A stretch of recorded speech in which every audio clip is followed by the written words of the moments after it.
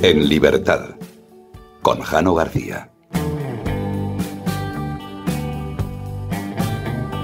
Cuentan las crónicas del año 400 a.C. que Genofonte afirmó que al individuo lo motiva su egoísmo, y es gracias a él cómo consigue sobreponerse a situaciones críticas y otorgar indirectamente un bien común a la sociedad. Plinio el Viejo, en el siglo I, ya señaló que la esclavitud, el hacer trabajar al hombre por una ración de comida, era algo improductivo. Santo Tomás de Aquino, en el siglo XIII, advirtió de que las necesidades de cada uno son diferentes, porque es un síntoma propio de la naturaleza humana y que no a todos nos gusta lo mismo ni queremos lo mismo. Alberto Magno, en el siglo XIII, criticó el monopolio, ya que si el precio de un producto viene impuesto por los que dirigen el monopolio y no por los consumidores, nunca sería justo. Nicolás de Oresme, considerado el primer monetarista de la historia, afirmó en el siglo XIV de que fabricar moneda de forma excesiva conllevaría antes o después a una inflación. Jean Bodin, en el siglo XIV, y posteriormente Hume, complementarían con mayores aportaciones lo que demostraba que Nicolás de Oresme estaba en lo cierto. Martín de Azpilcueta, en el siglo XVI, estableció que el precio y el coste dependen de la demanda que existe sobre un producto o un servicio. Posteriormente, Adam Smith llegaría a la misma conclusión. Todos estos conceptos fueron recogidos en el magnífico decálogo de William Boetker. No puedes crear prosperidad desalentando el ahorro, no puedes fortalecer al débil debilitando al fuerte, no puedes ayudar a los pequeños aplastando a los grandes, no puedes ayudar al pobre destruyendo al rico. No puedes elevar al asalariado presionando a quien paga el salario. No puedes resolver sus problemas mientras gastes más de lo que ganas. No puedes promover la fraternidad de la humanidad admitiendo e incitando el odio de clases. No puedes garantizar una adecuada seguridad con dinero prestado. No puedes formar el carácter y el valor de un hombre quitándole su independencia, libertad e iniciativa.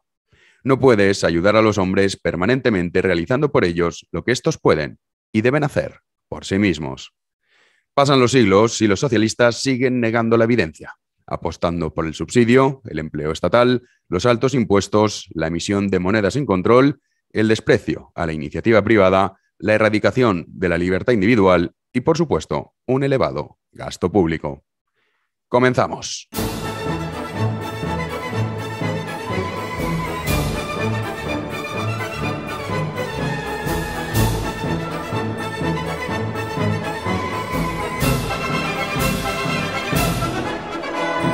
Y de vuelta al presente, hoy 3 de abril de 2022. Como saben, el gobierno español continúa su senda hacia el empobrecimiento generalizado. Los ciudadanos españoles cada vez son más pobres a través de dos vías. Una, la inflación, la otra, las altas tasas impositivas que padecemos. Hay que decir que este decálogo de William Boetker, que alguno habrá dicho, vieja, no me suena, no es la primera vez que lo recitas. Efectivamente, no es la primera vez que lo recito. Creo que hace un año aproximadamente también comenzamos, cuentan las crónicas con, este decálogo, pero es un decálogo que resume en 10 puntos conceptos fundamentales que han sido aniquilados y que desgraciadamente están en el olvido. Y a partir de esos conceptos olvidados, asesinados, todo lo que estamos viviendo. Porque se ha despojado al ciudadano su capacidad de ahorrar, ha sido eliminada a través de altas subidas impositivas. De hecho, eh, no se incentiva el ahorro, al contrario, se perjudica a los ahorradores. Tampoco se permite que los ciudadanos tengan iniciativa libre para poder alcanzar por sus propios méritos lo que merecen. Tampoco existe ese concepto de ayudar al desfavorecido a través de políticas fiscales que permitan que dejen de estar debajo de la pirámide. Porque lo que observamos ahora, si tuviésemos que hacer un pequeño, una pequeña radiografía de cómo está organizada jerárquicamente, económicamente hablando, eh, lo que es la sociedad, vemos que hay gente con muchísimo poder adquisitivo, las élites, protegidas y amparadas por los estados, que esos siempre están ahí arriba. Incluso, aunque pongan altos impuestos, lo que se consigue de esa manera es que aquellos que están intentando escalar hacia esa posición vean cómo son incapaces de llegar precisamente por todas las trabas burocráticas que se implementan. Y de esa manera, poco menos que estamos santificando la pobreza, cuando lo que hay que hacer es acabar con ella. No se trata de tener, mira cuántos pobres tenemos y cuánto les ayudamos. No, no, no. Se trata de que no haya pobres. Se trata de que el ciudadano sea capaz de hacer por sí mismo lo que debe hacer y no que esté sometido a una serie de ayudas, bonos sociales por parte de un gobierno que previamente lo ha esquilmado vía impuestos. Te roba 10 y te devuelve 3 y te dice, mira cómo te estamos ayudando. No le están ayudando. Esto se da en todos los ámbitos y ya hemos aceptado tasas impositivas que son inaceptables y sobre todo un sistema, no es solo en España, también ocurre en la mayoría de países occidentales, en el cual la iniciativa privada es perseguida y el éxito es perseguido.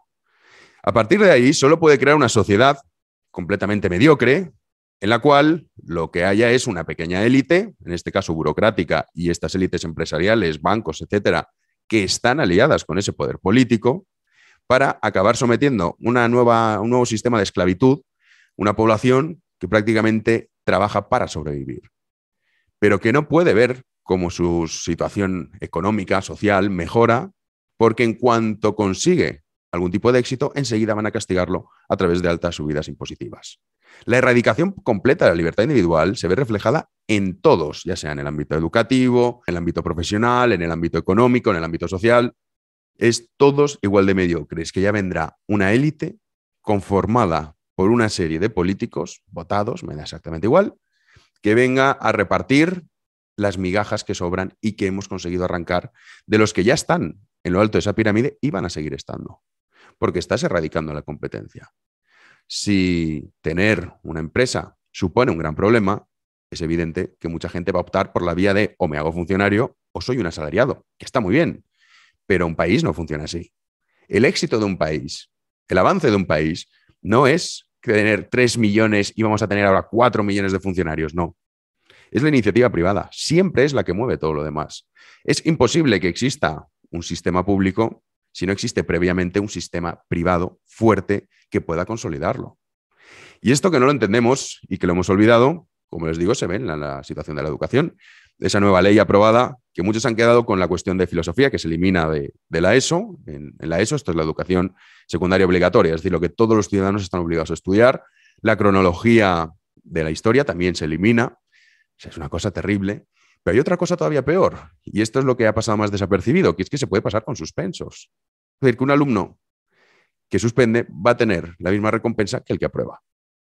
Que incluso se eliminan calificaciones numéricas.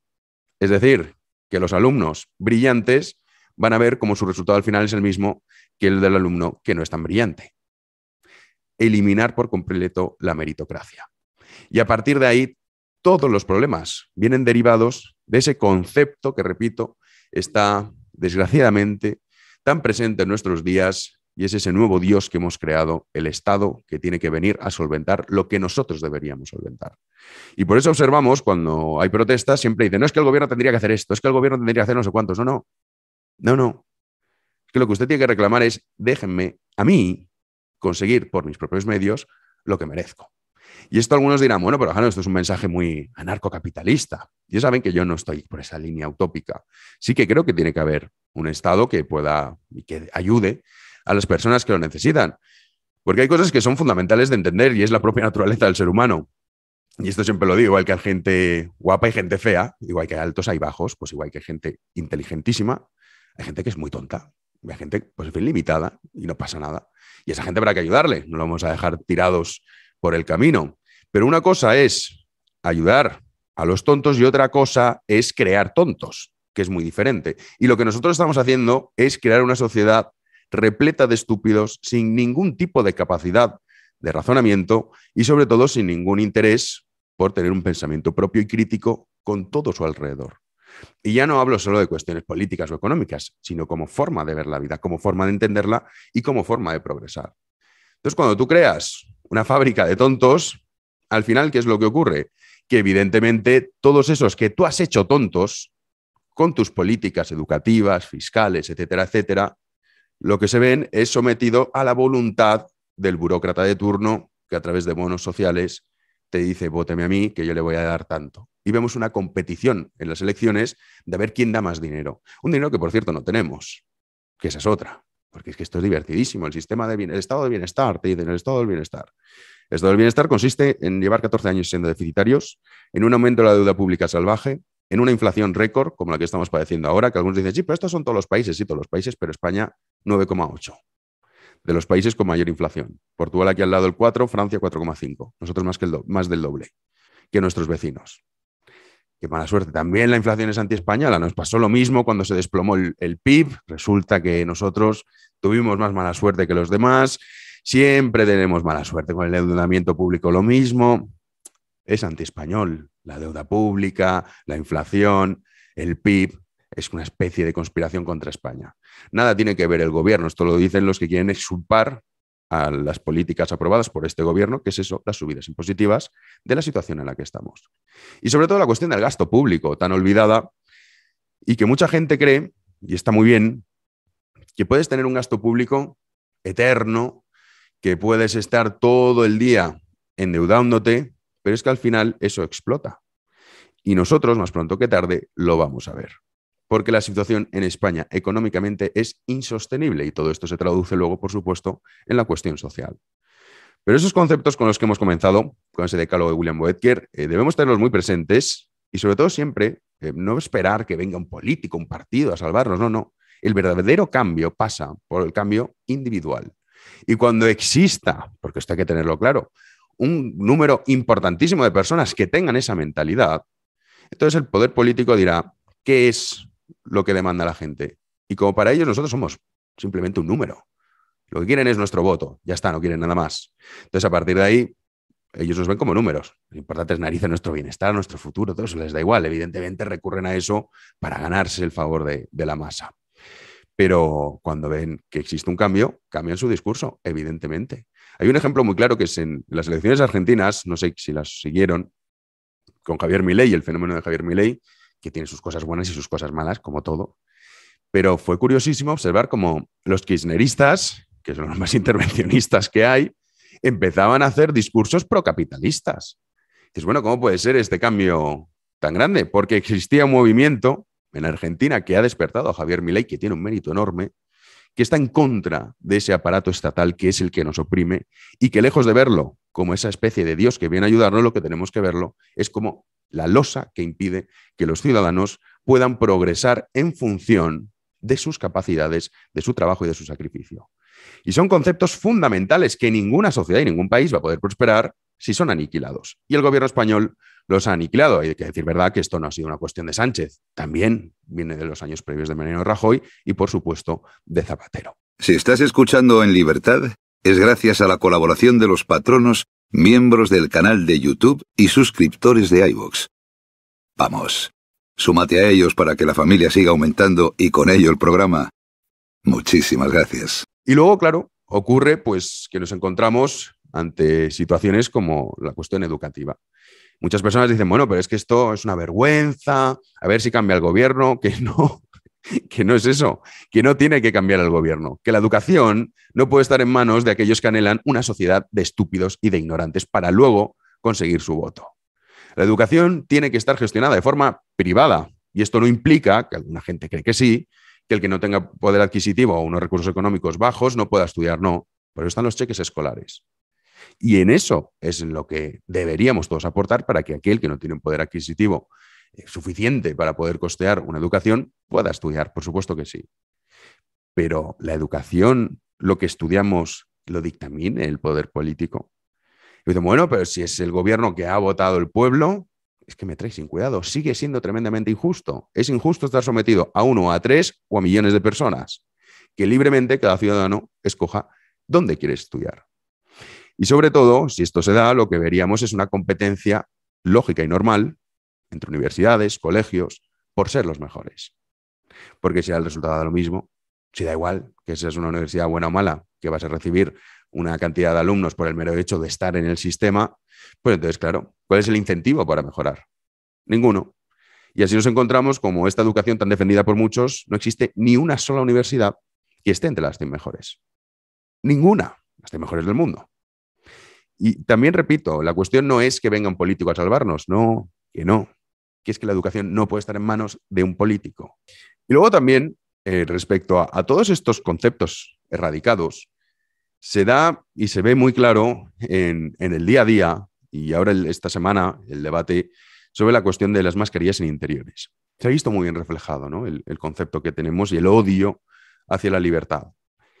Y es que había muchísima gente, cuando esa votación en el Congreso, que se aprobó eh, no es automático, pero se insta al gobierno a que elimine las mascarillas, su uso en, interiores, que por cierto ya no las está utilizando prácticamente nadie en, en Europa. Nosotros sí, claro. Entonces había mucha gente que decía, no, no, no, no, esto me parece fatal, tiene que seguir siendo obligatoria. Y vamos a ver, oiga, si usted quiere llevar mascarilla, me parece estupendo. De verdad, me parece fenomenal. Lleven una, 200. Precíntese la cara si lo desea. Conviva con ella hasta el fin de sus días. Pero deje de imponer a los demás su paranoia. Esto es exactamente lo mismo que ha pasado con la cuestión de las vacunas. Y era, no, no, todo el mundo se tiene que vacunar. Oiga, vacúnese usted si le apetece, que parece fenomenal. Póngase las dosis que considere oportunas, pero no imponga a los demás su forma de pensar. Entonces te vienen con el rollo de no, es que tenemos que hacerlo todos o si no, no vale. Pero todavía a estas alturas estamos con eso. ¿No ha visto usted los números? Ni siquiera se ha molestado en observar qué es lo que ha pasado con esa mascarilla en interiores tan obligatoria. Ni siquiera ha hecho la comparación con los el número de casos de otros países que no tenían esa estúpida ley. Es exactamente lo mismo. Ha pasado exactamente lo mismo. Observen Reino Unido, por ejemplo, e Italia. Observen, comparen. Hacen las mismas curvas. Es igual. Porque hay ciertas cuestiones que es evidente el uso interior de mascarillas es absurdo en el momento en el que hay personas que en su día a día están sin la mascarilla, como es lógico, se la ponen para entrar en un bar o para entrar en un comercio y luego acaban la noche en una discoteca con 400 personas. Evidentemente desprovistas de mascarillas. Como tiene que ser, ¿eh? Y luego a los, niños, escribí un artículo esta semana al respecto, que son los grandes olvidados de esta pandemia, se han triplicado los casos de depresiones, suicidios, etcétera, etcétera. Luego nosotros somos tan cobardes, los adultos, que les hemos traspasado a un grupo de edad en el que no existe ningún fallecido sano, y esto hay que recordarlo, nuestra paranoia. Y les colocamos esa mascarilla, que no deja de ser un síntoma de nuestra bajeza moral a un niño de 5, 6, 7 años, la probabilidad de fallecer es cero, siempre repito, un niño sano. Si tiene otras patologías previas, evidentemente el riesgo aumenta. Nuestra paranoia se la hemos traspasado. Y mientras nosotros estamos con nuestros amigos en grandes cenas, en restaurantes, bares, discotecas, a nuestros hijos la mascarilla para meterlo en clase. Esta es la bajeza moral de nuestra sociedad. ¿Y por qué ocurre esto? Que es lo que siempre debemos preguntarnos, ¿no? Bueno, ¿y por qué? porque hemos aniquilado esos conceptos fundamentales y hemos olvidado la importancia de la libertad. Y nos hemos creído que con función de la salud, la seguridad, siempre hay alguna excusa, la podemos erradicar. Y claro, esto tiene un precio, un precio muy elevado.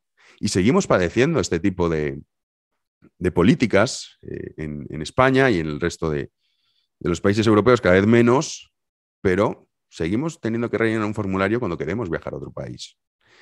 Seguimos teniendo que mostrar un código si queremos subir a un avión.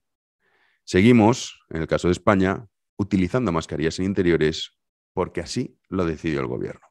El otro día les cuento una anécdota, ya hacemos la pequeña pausa. Por cierto, en este podcast va a estar don César Vidal, que es, eh, como saben ustedes, un asiduo al, al, programa. Hacía tiempo que no pasaba por aquí, aunque bueno, los que son miembros del canal de YouTube, suscriptores de iVoox y patronos pudieron disfrutar de, una clase magistral que nos dio sobre la historia de Israel, que también hay que decir que he subido el podcast exclusivo de, marzo, eh, lo subí con Rodolfo de Asburgo, y algunos me dicen, oye, pero es que no me ha llegado la notificación, en la pestaña de comunidad lo tienen, en el caso de, YouTube, los suscriptores de iVoox en la lista de los podcasts, y en Patreon, los patronos, simplemente con entrar en la cuenta, ahí le aparece. Lo digo porque mucha gente que me dice, oye, a mí no me avisa, no sé por qué, ¿eh? lo desconozco, eso ya no, no, depende de mí, de que has subido el podcast. Entonces, bueno, ya lo tienen eh, disponible. Rodolfo Habsburgo, una figura maravillosa, con una historia fascinante, en la que el amor muchas veces cuando eh, la historia cambia se hace en cuestiones que nos afectan a nosotros también el día a día, como es el amor. Y en este caso, Rodolfo de Habsburgo se suicidó por amor y fue una persona muy importante, no por lo que hizo, sino por lo que no pudo hacer. Así que bueno, ya tiene ahí el podcast para entender por qué es una figura tan importante a pesar de ser tan desconocida en general. Pero la cuestión de la mascarilla, y ahora hacemos la breve pausa y luego ya vamos con, con César Vidal para abordar la cuestión de Ucrania, nuevo orden mundial, eh, la agenda globalista que tanto escuchamos. Aquí traemos gente de todo tipo y va a seguir siendo así, queridos oyentes. Ya saben que siempre nos gusta traer gente con formas de pensar diferente y, eso no va a cambiar. Pero la última anécdota con una de las mascarillas es que pasó recientemente, hace un par de días. Entró en un típico restaurante y, entonces, bueno, típico mostrador en el que está la chica que te atiende antes de acompañarte a la mesa. Hola, buenas tardes, tal, no sé cuántos tenemos mesa reservada, sí, eh, a nombre de tal, no sé qué, dos personas, fenomenal. Entonces, ¿qué ocurre? Que no tiene usted mascarilla, me dice. Y yo, no, no llevo, pero porque se me había olvidado. No, pues hay veces que se me olvida la mascarilla. Digo, no, no, no la llevo. Ya, pues un momento, porque usted no puede entrar sin mascarilla. Digo, pero bueno, son cinco metros. O sea, es que estoy viendo aquí la mesa que está ahí a cinco metros. Y luego me voy a sentar y me la voy a quitar. Digo, estos cinco metros que andamos, no, no, no, por favor. Es que esto son las normas, no sé qué. Y yo, bueno, bien, vale. Entonces, voy a buscarle una mascarilla. Y yo, pero no será más sencillo que, no, no, no, no. Bueno, se va. Y no les exagero. Alrededor de cinco, seis, siete minutos estaba la chica más agobiadísima porque no encontraba una mascarilla eh, para dejarme, para poder andar esos cinco metros. Yo estaba alucinando con, mi amigo diciendo, macho, ¿sabes qué cosa más estúpida y tan ridícula? O sea, estamos aquí esperando en el mostrador, cola y cola de gente, porque era de estos que comes restaurante bar, que come rápido de picar, que está muy bien, y media hora pues te liquida, entonces hay como mucho movimiento, mucha rotación. Y yo, bueno, esperando, esperando, hasta que al final la chica por fin viene con un trozo de papel, si es que eso se le puede llamar mascarilla, lo que me prestó. Y muchas gracias, muy amable, me la pongo hasta que ando los cinco metros. Bueno, después de comer, eh, como ya la gente se había ido, se había quedado todo más relajado porque era tarde, digo, bueno, a mí me gusta preguntar. Y entonces viene la chica que es muy simpática. ¿Han comido bien? Súper bien. Yo una pregunta. Sí, sí, dígame. ¿De usted esto de del uso este de la mascarilla en interiores, ¿hasta cuándo lo va a seguir haciendo así? Dice, no, hombre, pues eh, depende, si es las leyes, pues claro, son las normas, las tenemos que cumplir. sí, vale. Entonces le digo, o sea, que esto depende hasta que se lo diga Sánchez. O sea, usted va a usar mascarilla en el interior hasta que se lo diga Sánchez. Y entonces se reía y decía, sí. Y yo digo, ¿cómo que sí? digo, ¿cómo puede ser? ¿Cómo que hasta que me lo diga Sánchez? O sea, el momento en el que Pedro Sánchez mañana se levante y diga, venga, vaya hasta españoles, ya no necesitan ustedes usar la mascarilla en interiores. Yo digo, bueno, o sea, ¿cómo puede ser? Igual que cuando escribí un, tuit al respecto que dije, oiga, que quiere llevar mascarilla, que la lleve toda su vida. Pero yo me pregunto, ¿cuándo va a dejar usted de usar mascarilla? ¿Cuándo? Cuando se lo diga Sánchez, cuando se lo diga la ley, cuando desaparezca el virus, dicen algunos, no va a desaparecer, va a convivir con esto siempre. No cuando yo considere que deje de ser peligroso, ya. ¿Y eso va a ser cuándo? Yo lo digo más que nada porque hay muchas veces que algunos dicen, no, no, no, no, es peligrosísimo esto de las mascarillas en interiores no usarlas, porque claro, estamos hablando de que hay poca ventilación. Y dices, bueno, vale, ya, ¿y, y qué? Y entonces, así siempre. Y además, si la prensa, que es lo que ha ocurrido, además ha sido automático. En cuanto empezó la guerra, el COVID ha desaparecido. Y a partir de ahí ves a muchísima más gente sin mascarilla al exterior muchísima más gente. Porque ese bombardeo constante ya ha desaparecido. Entonces, ¿en función de qué? De lo que le diga la prensa, de lo que diga la televisión, de lo que le diga Sánchez, ¿en función de qué? De lo que vea a su alrededor. ¿Cómo razonamos? Muchas veces me parece muy curioso que estemos eh, haciendo este tipo de prácticas y sobre todo, repito, por algunos, yo hay una cosa que desde el principio de la pandemia no lo he entendido. he tenido amigos muy cercanos que no, me decía, no, no, no, a comer no voy con vosotros porque es que es peligrosísimo, no sé cuántos, mira cuántas cosas hay. Y luego se iba al gimnasio por la tarde. Y dices, a ver, yo entiendo que si quieres evitar infectarte, algo inevitable, pero vale, suponiendo que, lo quieres evitar por todos los medios, pues sé coherente en tu forma de evitarlo. No me digas, no, con mis amigos no voy a comer, pero me voy a un gimnasio. Pero oye, es que no tiene sentido. Y esto, en fin, eh, supongo que ustedes también conocen gente así no significa ser frívolo, para algunos dice, qué frivolidad, no, no es ser frívolo, ya aceptar las cosas como son. Y sobre todo respecto, repito, al uso de mascarillas en interiores, quien la quiera llevar, que la siga llevando toda su vida. Porque esto es lo mismo que, si, que ya ocurre con Omicron en la cuestión de, del COVID, que en el caso de, de Omicron, en muchas franjas de edad, principalmente de 50 años hacia abajo, ya es más mortal la gripe. Entonces, ¿qué hacemos con la gripe común? ¿Vamos a llevar ahora mascarilla siempre? Hombre, estoy completamente en contra. De que sea obligatorio el que la quiere llevar, oye, que la lleve y que haga lo que le dé la gana. Me parece fenomenal. Pero ya basta de imponer a los demás nuestra paranoia. Ya está bien. Ya llevamos dos años con esta cuestión. Esto es lo que hay. Todos sabemos qué es lo que hay. Y a partir de ahí que cada uno actúe en función de lo que crea. pero dejemos ya de imponer nuestra forma de pensar a los demás. En fin, como no creemos en la libertad, pues todos estos tics totalitarios que tenía la gente, pues ahora y encima lo hacen por una buena causa, que es por salvar vidas, claro. Entonces a partir de ahí ya es maravilloso.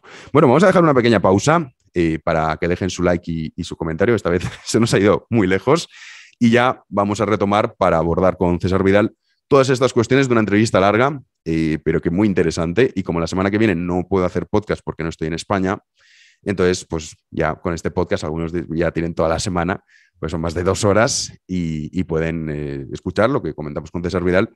Los que aguanten hasta el final, luego comentamos eh, anécdotas que nos ha pasado en, televisiones, en fin, cómo funciona la televisión por dentro, que eso daría para un podcast completo y los personajillos que te encuentras por ahí. Pero bueno, vamos a dejar una breve pausa para que dejen su like y su comentario, para que yo el algoritmo, y ya saben, no les cuesta nada y yo se lo agradezco mucho.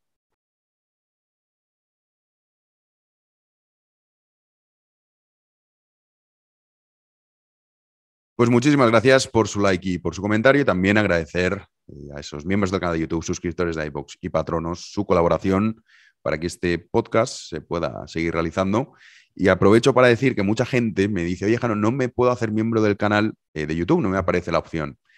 Eso creo que es porque está con un dispositivo móvil y no sé por qué no da esa, opción, pero si lo hace a través del ordenador, desconozco si a través de la tablet se puede hacer. Una vez se hace miembro, ya con el teléfono móvil sí que puedo escuchar esos podcasts exclusivos de, historia. Así que bueno, aclararlo porque es verdad que muchas veces se me olvida decirlo y, esta última semana he recibido muchos mensajes en relación a eso, a cómo me hago miembro del canal. Y realmente creo que no les aparece si está con, un móvil. No sé si es cuestión de iPhone o de Android, no tengo ni idea. Pero si no con el ordenador eh, lo pueden hacer y una vez lo consiguen, que no es complicado, ahí sí que les aparece unirme, entonces ahí pinchan y, lo tienen a su disposición. Vamos a ir ya con la entrevista de César Vidal, no sin antes comentar varias cosas que me parecen que son relevantes. Eh, la primera de ellas es, como les decía antes, que aquí eh, tenemos gente de todo tipo. Y va a seguir siendo así. Yo creo que es muy importante en, relación a cualquier tema traer personas que tienen posturas distintas. Me parece que eso es algo que luego ustedes, los oyentes de este programa, que además tienen fama de no ser, sin ofender a nadie, niños rata, que hay gente con cierto nivel y que no se cree lo primero que escucha como debe ser, es capaz de, escuchando diferentes posturas, luego a través de la investigación y a través de la comprobación, no solo de lo que digan los invitados, sino de lo que digo yo mismo, saber qué es verdad o qué es mentira. Y saber discernir entre unos hechos que son verídicos y que se pueden contrastar y otros que son meras suposiciones. Entonces, en este caso, en la cuestión de, Ucrania y de Rusia, por aquí han pasado pues, el coronel Pedro Baños, estuvo con nosotros el exministro García Margallo, que he de decir que a mí lo que fue el análisis que hizo me parece el mejor que he escuchado eh, con enorme diferencia. Luego ya hablamos de la parte política nacional, ahí discrepábamos más. Pero en cuestión a lo que hizo ese análisis, me pareció excepcional. Y ahora va a estar con nosotros César Vidal para darnos otra perspectiva. Y sobre todo, eh, ciertas cosas que nosotros desconocemos porque no salen en los medios tradicionales. Entonces yo de verdad creo en eso, creo en, la lucha sana de ideas y, de puntos de vista diferentes. Y son entrevistas, porque hay veces que algunos dirán, y, oye, es que me lo dicen mucho ha dicho no sé qué este invitado. Y tú, obviamente, estás en contra de esto que ha dicho y no le has refutado. Claro, porque es que no es un debate, queridos oyentes. Es simplemente una entrevista. Y yo las entrevistas las planteo y cuando invito a la gente a que venga a este podcast, y por eso vienen todos sin ningún problema, son preguntas que ni siquiera tengo, yo no tengo una lista de preguntas, vamos conversando y vamos charlando. Y es escuchar lo que él opina más allá de que yo pueda estar radicalmente en contra o que incluso en el pequeño editorial previo a la entrevista haya dicho todo lo contrario a lo que luego dice el entrevistado. O que en el podcast anterior haya dicho algo diferente, que choca con, lo que van a escuchar ustedes del invitado. No hablo ya del caso de César Vidal, sino de cualquiera. Y yo creo que eso es muy sano. Y sobre todo en esta guerra, eh, el otro día es que me decían, oye, es que tú como liberal estás un poco equidistante, ¿no? Y digo, claro, es que en esto de ser equidistante es como que hemos planteado esto como un partido de fútbol. Entonces tienes que escoger qué equipo quieres que gane. Yo lo he dicho muy claro y lo digo mil veces. La invasión de Rusia es injustificada. Que luego se puede hacer todo tipo de malabares para justificarlo, pero es injustificada. Eso no quiere decir que uno se tenga que lanzar en brazos de la OTAN o de Estados Unidos o de Joe Biden, personaje perverso, por supuesto, que ahora vamos a, con César Vidal a comentar sobre ello. No implica que eso tenga que ser así. Entonces, a partir de ahí, en una guerra, también se da una circunstancia que a mí me choca mucho, y es, eh, sobre todo lo veo en, los comentarios, en cuanto sale una noticia que deja mal a Ucrania es mentira, y en cuanto sale una noticia que deja mal a Rusia es mentira. Entonces luego hay algunos que dicen, no, todo lo que sale de la prensa occidental es mentira, sin embargo, todo lo que sale de la prensa rusa es verdad. Y tú no puedes funcionar así. Porque claro, realmente eh, lo que estás haciendo es compro el relato que me interesa y que se adapta a lo que yo defiendo y lo que yo pienso. Pero eso es sectarismo. Eso no es tener ningún interés por conocer la verdad, ni por saber cuáles son las cuestiones de fondo, ni por conocer en una, llevándolo al plano matemático, esto es como una gran ecuación en la que hay muchísimas variables. Si empiezas a quitar variables, evidentemente el resultado va a ser distinto. Entonces, a partir de ahí tienes que incluir todas. Y hay muchísimas, muchísimas. Y luego vemos como dicen, es que los ucranianos han hecho esto. Claro. Y es que los rusos han hecho no sé cuántos. Sí, es que es una guerra. Y en una guerra sale, eh, y entiéndame bien lo que, lo que quiero decir ahora, es un gran reflejo de lo que es el ser humano. Y es un gran reflejo porque vemos gente muy buena, que ayuda a los demás, gente que está dispuesta a dar su vida por defender a su familia, gente que actúa bien, que salva vidas, que incluso salva a un soldado enemigo de ser atrapado. Y luego vemos todo lo contrario. Vemos gente que mercadea con los seres humanos aprovechando la crisis de los refugiados. Veremos también, y seguro que pasa, pues que hay un ucraniano que de repente un amigo suyo que le quitó a su mujer o que se acostó con su mujer, dice, no, es que este es un espía ruso. Y lo delata de forma falsa para que lo aniquilen. Lo mismo veremos en el otro bando y dirán, no, este, este es de Zelensky, este es un espía de Zelensky, deténganlo. Y será mentira. Pero como se acostó con su mujer, pues claro, aprovecha la coyuntura. Porque es que es así el ser humano.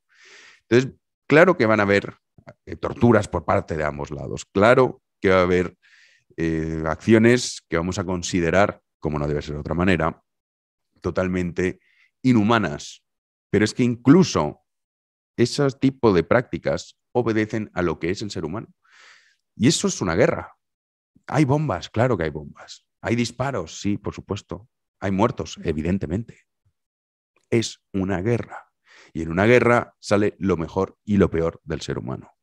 Igual que en todas las guerras, siempre lo decimos, pero es la realidad, los ciudadanos son los que pagan las consecuencias de una lucha de intereses. Y en este caso, lo que nosotros debemos hacer es no creernos lo que escuchamos de nadie y que lo comprobemos. Y les puse un ejemplo que me parece que es muy, muy interesante. Y es la cuestión del Donbass, que lo hemos escuchado desde el principio, ¿no? Como uno de los argumentos que siempre se daban, ¿no? 14.000 muertos en el Donbass. ¿Vale? Yo eso lo escuché y dije, bueno, voy a ver esos 14.000 porque, claro, parecía poco menos que llegaba el ejército ucraniano y estaba cometiendo, pues, en fin, una serie de asesinatos en la población civil que dices, 14.000 muertos, asesinados.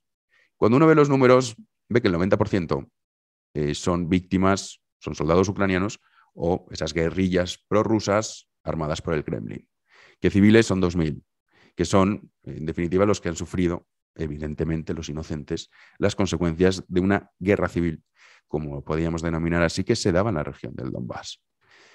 Entonces, a partir de ahí, hay que buscar y no quedarse con lo que nos cuenten. Y luego hay gente que dice, no, es que, es que eso requiere tiempo, requiere estudio, investigación, muchas veces eh, incluso leer en, en otros idiomas. Pues sí, claro.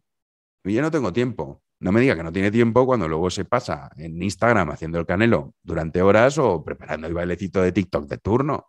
Sí que tiene tiempo, lo que pasa es que es mucho más cómodo que venga alguien y que me lo cuente. Y en función de nuestro sesgo ideológico, pues si este me cuenta algo que, me, encaja con, con lo que yo creo, es la verdad. Mientras que el otro es mentira. Y no es así.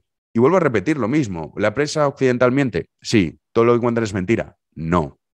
¿Los que defienden a Putin mienten? Sí. ¿Todo lo que cuentan es mentira? No.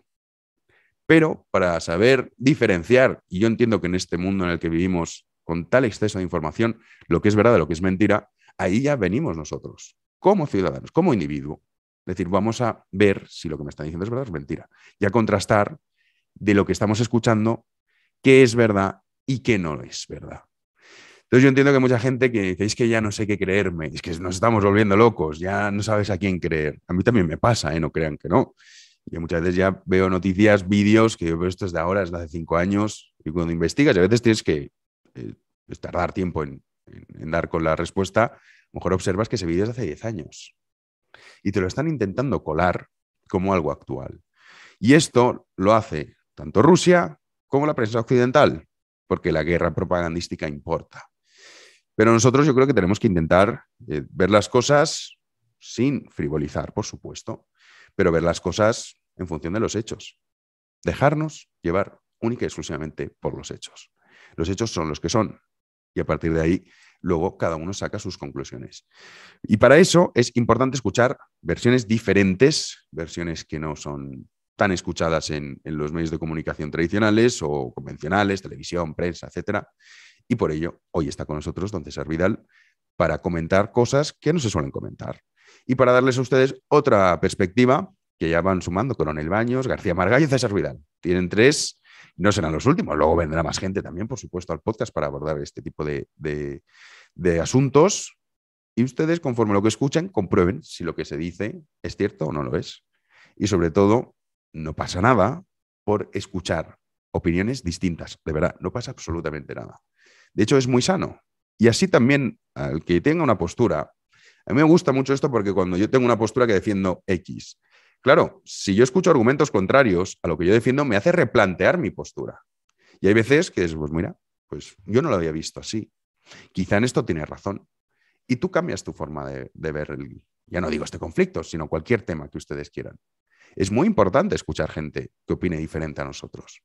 Y sin embargo, también te puede ayudar para, al revés, decir, no, mira, después de escuchar esto, esto, estos argumentos, yo opino lo contrario por esto, esto y esto. Y te reafirma. Pero eso lo tienes que hacer después de escuchar algo que es diferente. Entonces, bueno, este programa que se llama Libertad va a seguir siendo así y ustedes yo creo que agradecen que siga siendo así. Así que vamos ya con la entrevista de don César Viral.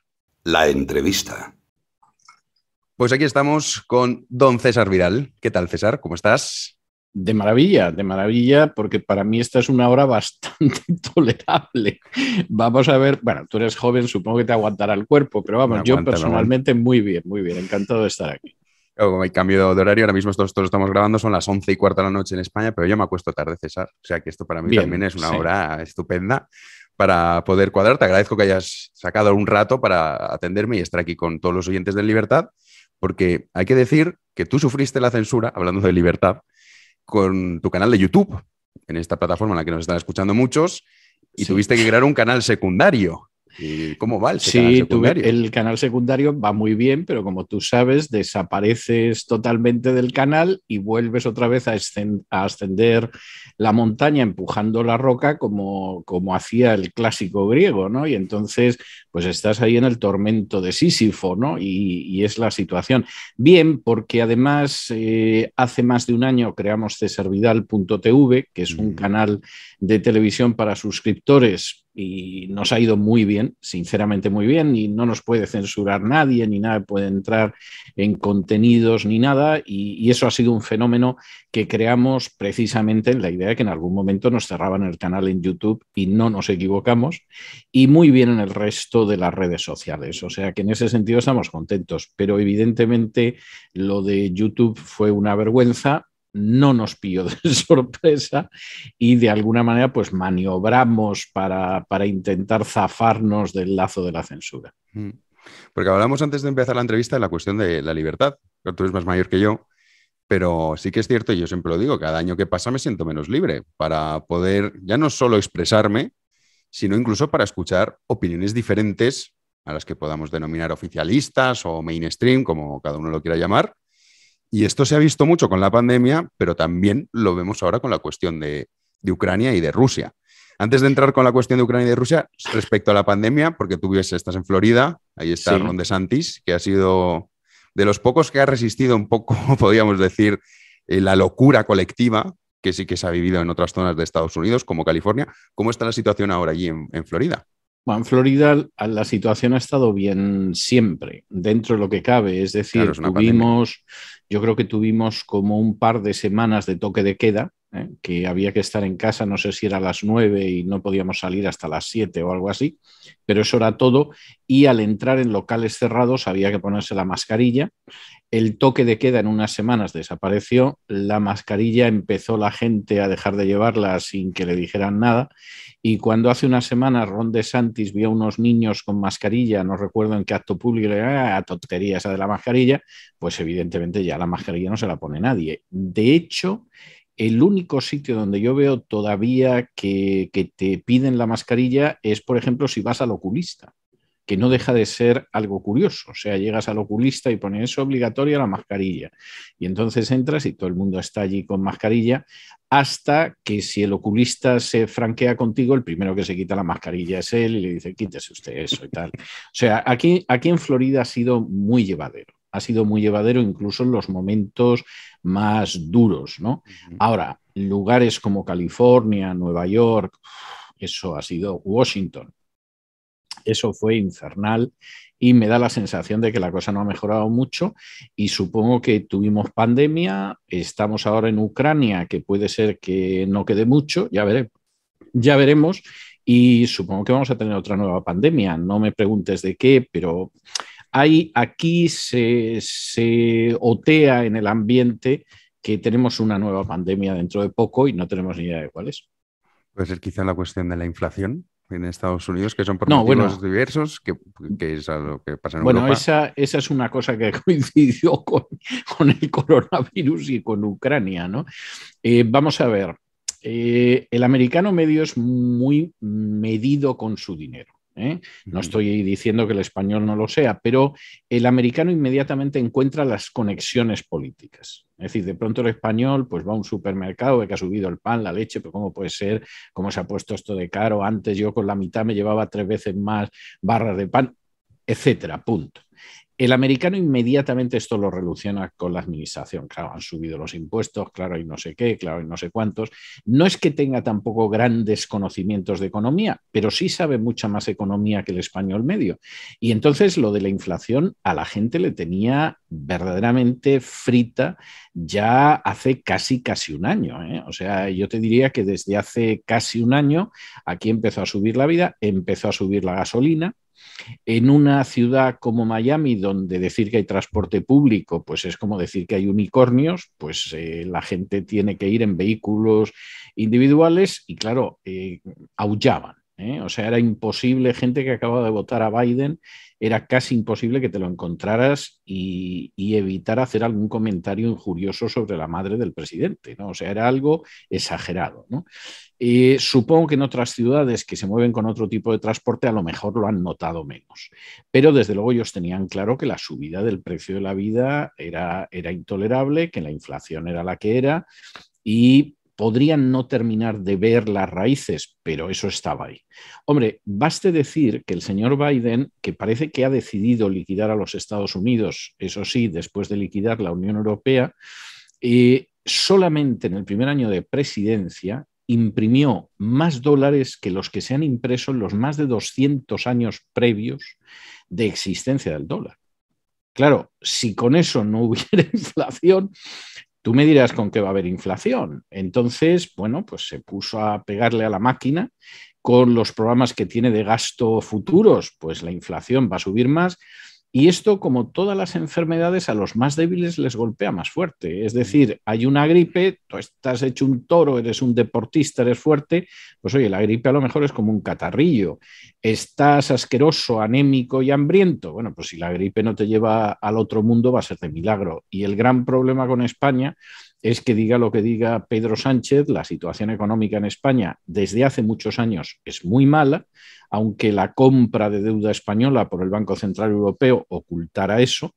Y claro, cuando de pronto pues, nos hemos encontrado con que la inflación era un fenómeno universal, en España era peor. Y luego, pues hombre, le pueden echar la culpa a Putin de esto, pero yo no creo que al menos un sector de la población española esté tan embrutecido como para creerse esa excusa, porque la inflación en España es gravísima desde hace mucho tiempo. Hmm. Sí, pero no creas que no lo cree mucha gente ¿Ah, que no compra ese relato, porque claro, aquí en España hablamos de políticas de estímulo. y esto no suena a chino a la mayoría de la población, que esas son las políticas de estímulo, que es lo que lleva haciendo el Banco Central Europeo muchísimos años. Y lo que se advertía, decía, acá, señores, que esto, en fin, al final vamos a llegar a donde hemos llegado a este punto. Es habitual que en los discursos, como bien sabes, Pedro Sánchez, ahora ya todo el día escuchamos la guerra de Putin. Está muy bien, suena bien, sí. Sí, la guerra de Putin, la guerra de Putin. Incluso Cuca Gamarra, que bueno, eh, no es que sea aquí. Mente privilegiada, sin duda, dentro de la política nacional. Le dijo al presidente Sánchez esta semana que claro, que había subido mucho y que no podía ser que pusiese de excusa a Putin y Sánchez lo que dijo es que bueno, es que Putin sabía que iba a hacer la guerra hace meses. Entonces, como que la inflación es una especie de ente que existe, dice, ah, que Putin va a hacer la guerra, me adelanto tres meses para empezar a, a subir. Esta gente que está comprando este relato, de César, no, creemos que no. pues eh, tienen que ser tontos, porque desde luego yo creo que hace ya muchos meses que era obvio que las cosas subían en España y, no había ni, ni, ni, de lejos se perfilaba una crisis en Ucrania, aunque estuviera ahí latente. Hombre, lo último de Sánchez de que Putin tiene la culpa de solo el 73%, no me preguntes cómo haya la conclusión de que es el 73 y no el 72 o el 74, porque lo ignoro. Bueno, esto ya a mí me parece una tomadura de pelo absoluta. Vamos a ver, la situación de España es la de un país quebrado desde hace muchos años que no llega a quebrar porque el dinero de la deuda lo compraba el Banco Central Europeo y eso es todo. Es verdad que muchos españoles eso lo pueden ignorar, pero esa es la realidad. Y lo único que sucede, pues es que ya hace tiempo que se llegó al fondo del cofre, no hay más. Y la prueba está en que con un país cuya productividad se ha desplomado en los dos últimos años de una manera tremenda, y podría incluso decir que antes de esos dos años, bueno, pues eh, ha decidido la señora ministra de Hacienda que a sus sicarios de la agencia tributaria les va a dar 100 millones más de euros este año para que le recauden por lo menos 13 mil millones más. Y dices, bueno, pues tienen que incurrir en la prevaricación, porque usted me contará cómo con un país que produce muchísimo menos y que ha caído entre 7 y 10 puntos de producción, bueno, va a recoger usted lo del año anterior más 13 mil millones más.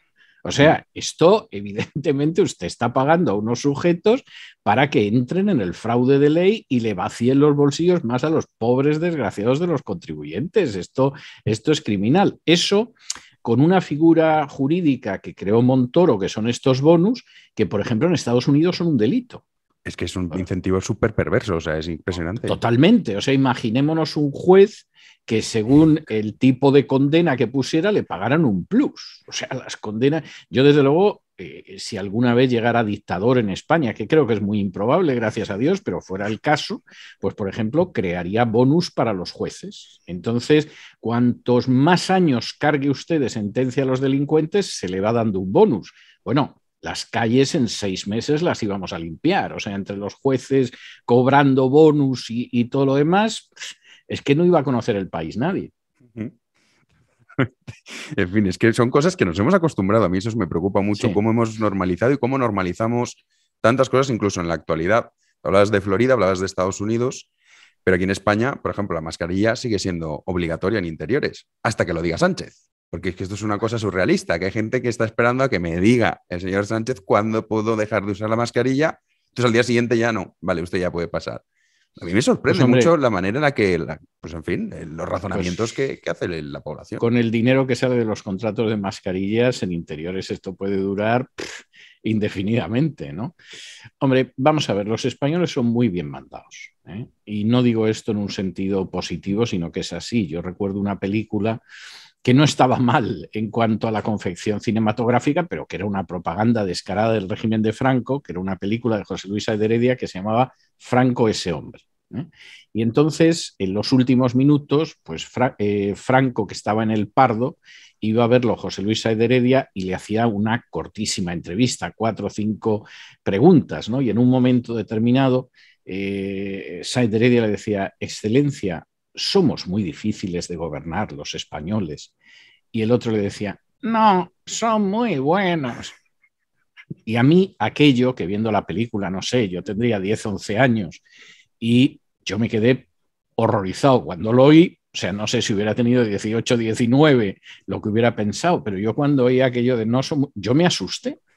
Y Y entonces dices, pero era verdad. O sea, lo que decía Franco es cierto. Si tú tienes los mecanismos de control adecuados, pues efectivamente, pues, pues los españoles en general, la inmensa mayoría, son así. Puedo contar otra anécdota pero aquí tengo que silenciar el personaje, no como en esta película, de un obispo que en cierta ocasión, pues hablando con él, me dijo, mire, desengáñese, don César, que los españoles con el fútbol y un poquito de dinero que gastar están contentos. Y yo dije, pues muy bien, pues este es de la escuela de no, son muy buenos. seguramente lo era, por la edad que tenía, seguramente. en Estados Unidos, porque ahora que has nombrado, has nombrado Estados Unidos, has nombrado Biden, has nombrado Putin, vamos a hablar de todo eso, pero primero, en las elecciones midterm en Estados Unidos, nosotros vemos una parte ¿no? de este conflicto, pero en Estados Unidos este conflicto se está utilizando por parte de Joe Biden, como para el que siga la actualidad de Estados Unidos lo sabe, como una manera de intentar que esa popularidad que se ha desplomado a una velocidad récord eh, por parte de Joe Biden, recuperarla de cara a las elecciones de midterm, que son ahora dentro de unos meses.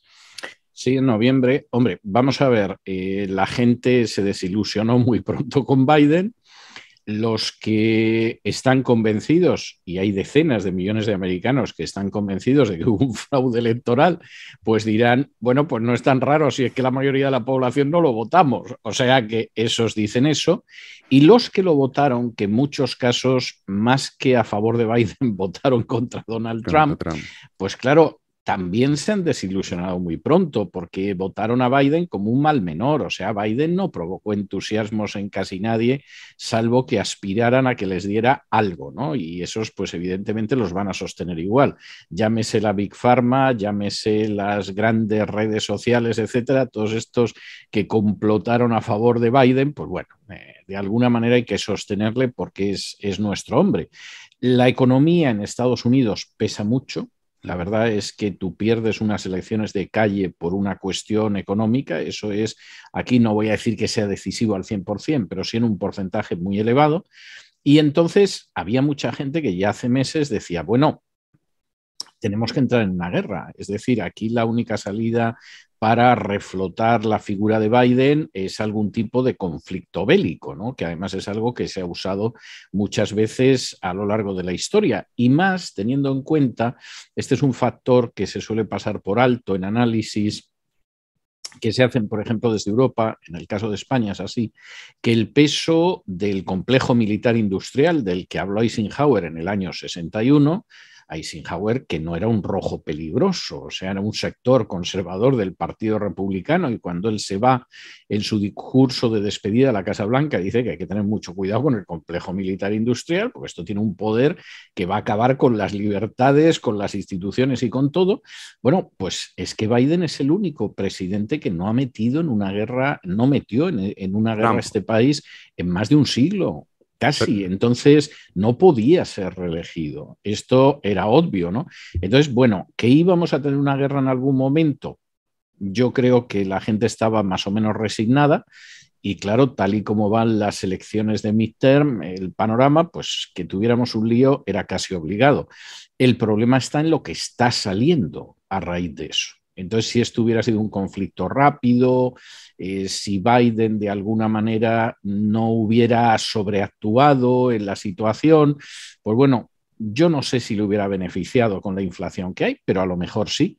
Pero claro, como está saliendo el dichoso maletín de Hunter Biden, que durante meses se negó su existencia e incluso personajes importantes de la inteligencia americana lo negaron ahora ha salido y no lo pueden negar, pero tampoco ha salido ninguno pidiendo disculpas. O sea, esto también hay que decirlo. Y claro, en ese maletín, aparte de cuestiones de su vida privada, que, mejor ni mencionarlas, pues aparece que ganó millones, por ejemplo, haciendo negocios en Ucrania, plantando laboratorios de armamento bioquímico, pues claro esto es complicado, porque además eran negocios en la época en que papá era vicepresidente y me podía proteger, y además con algún laboratorio que luego mira tú por dónde, tiene que ver con el coronavirus también. Y claro, eh, esto es algo que está empezando cada vez a salir más, te diría que casi de las últimas horas, aunque algunos lo anunciamos ya hace semanas.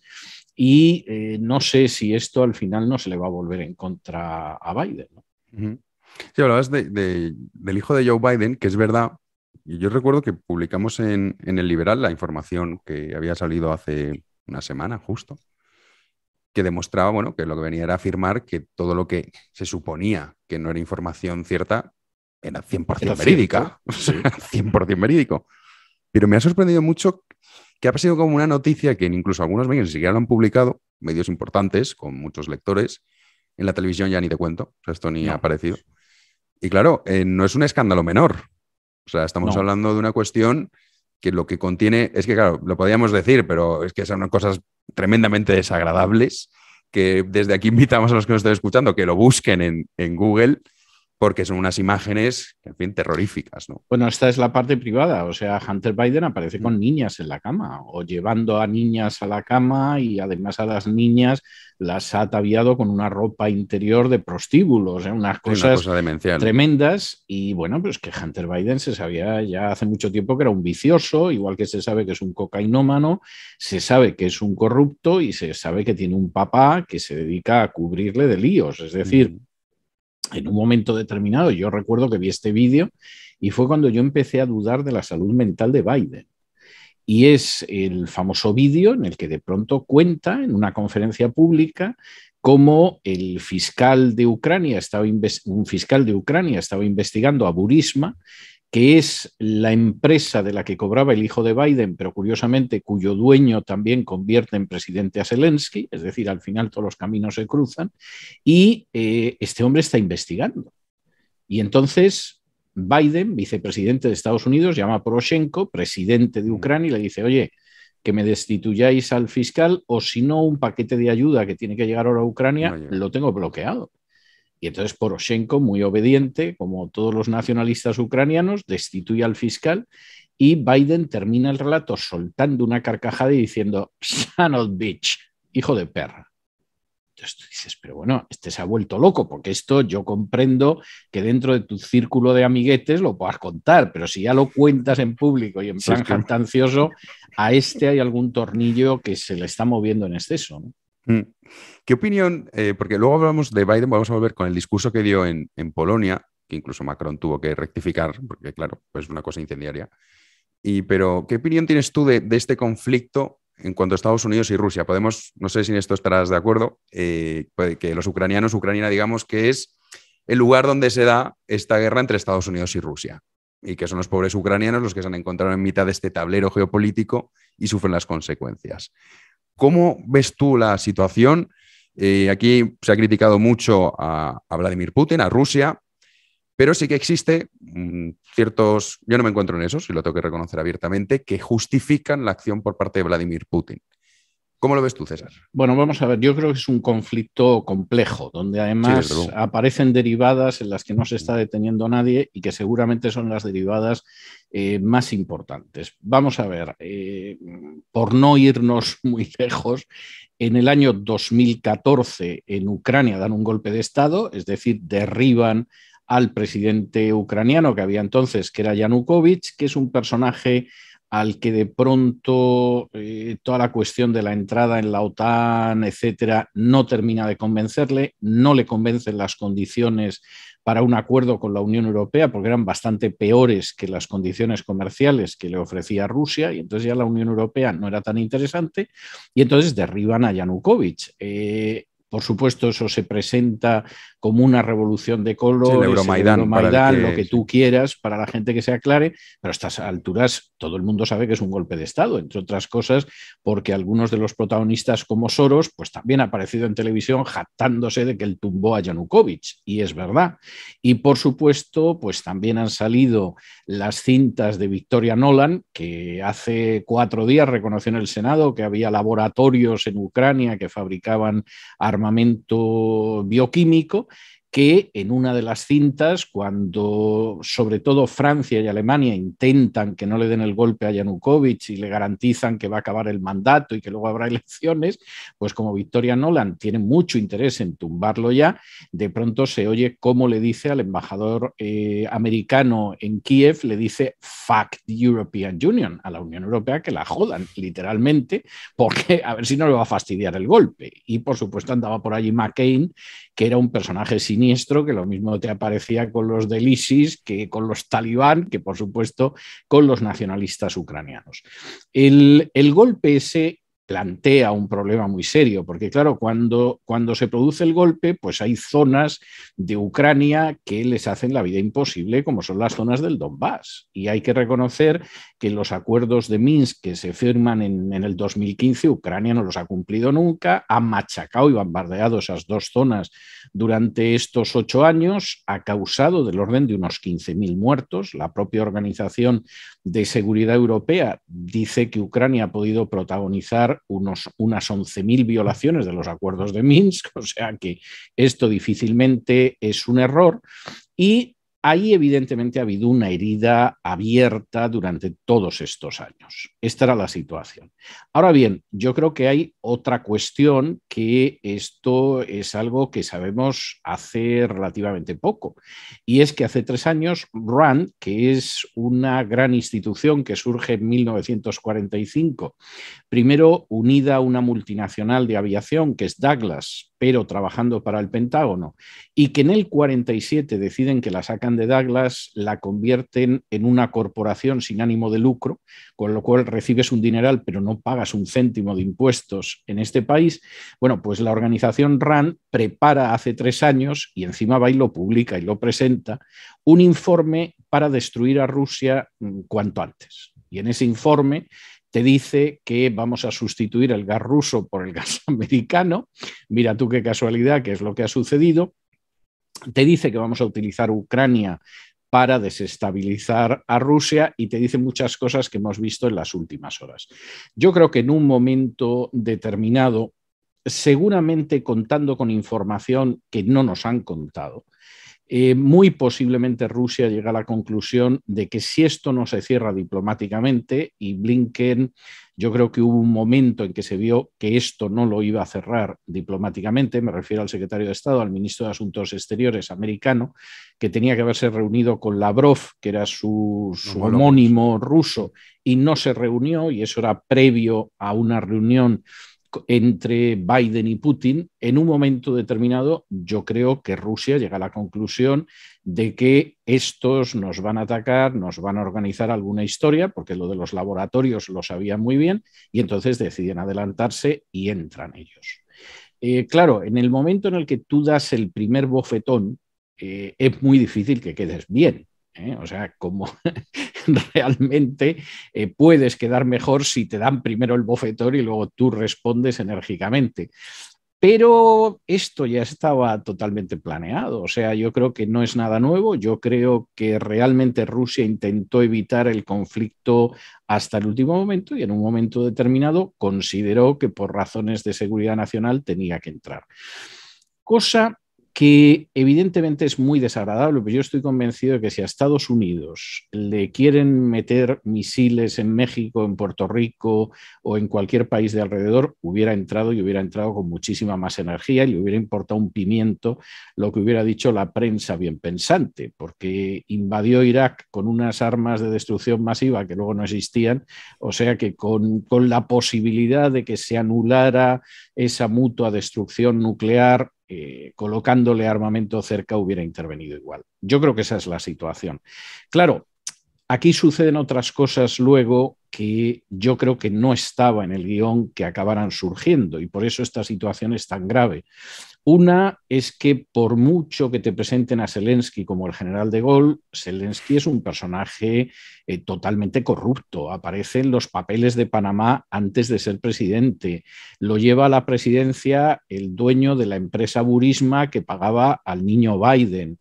Eh, es un sujeto que ha ilegalizado 11 partidos políticos, esto antes de la guerra, que cerró cuatro televisiones de la oposición antes de la guerra porque su popularidad caía y que encarcelaba, tenía encarcelado hacía un año al principal jefe del principal partido de la oposición en el Parlamento ucraniano.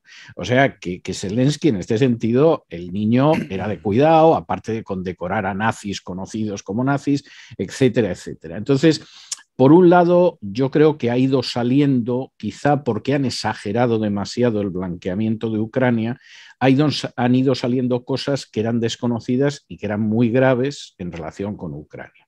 Ese es un factor. Pero luego hay otro factor que para mí es el más importante.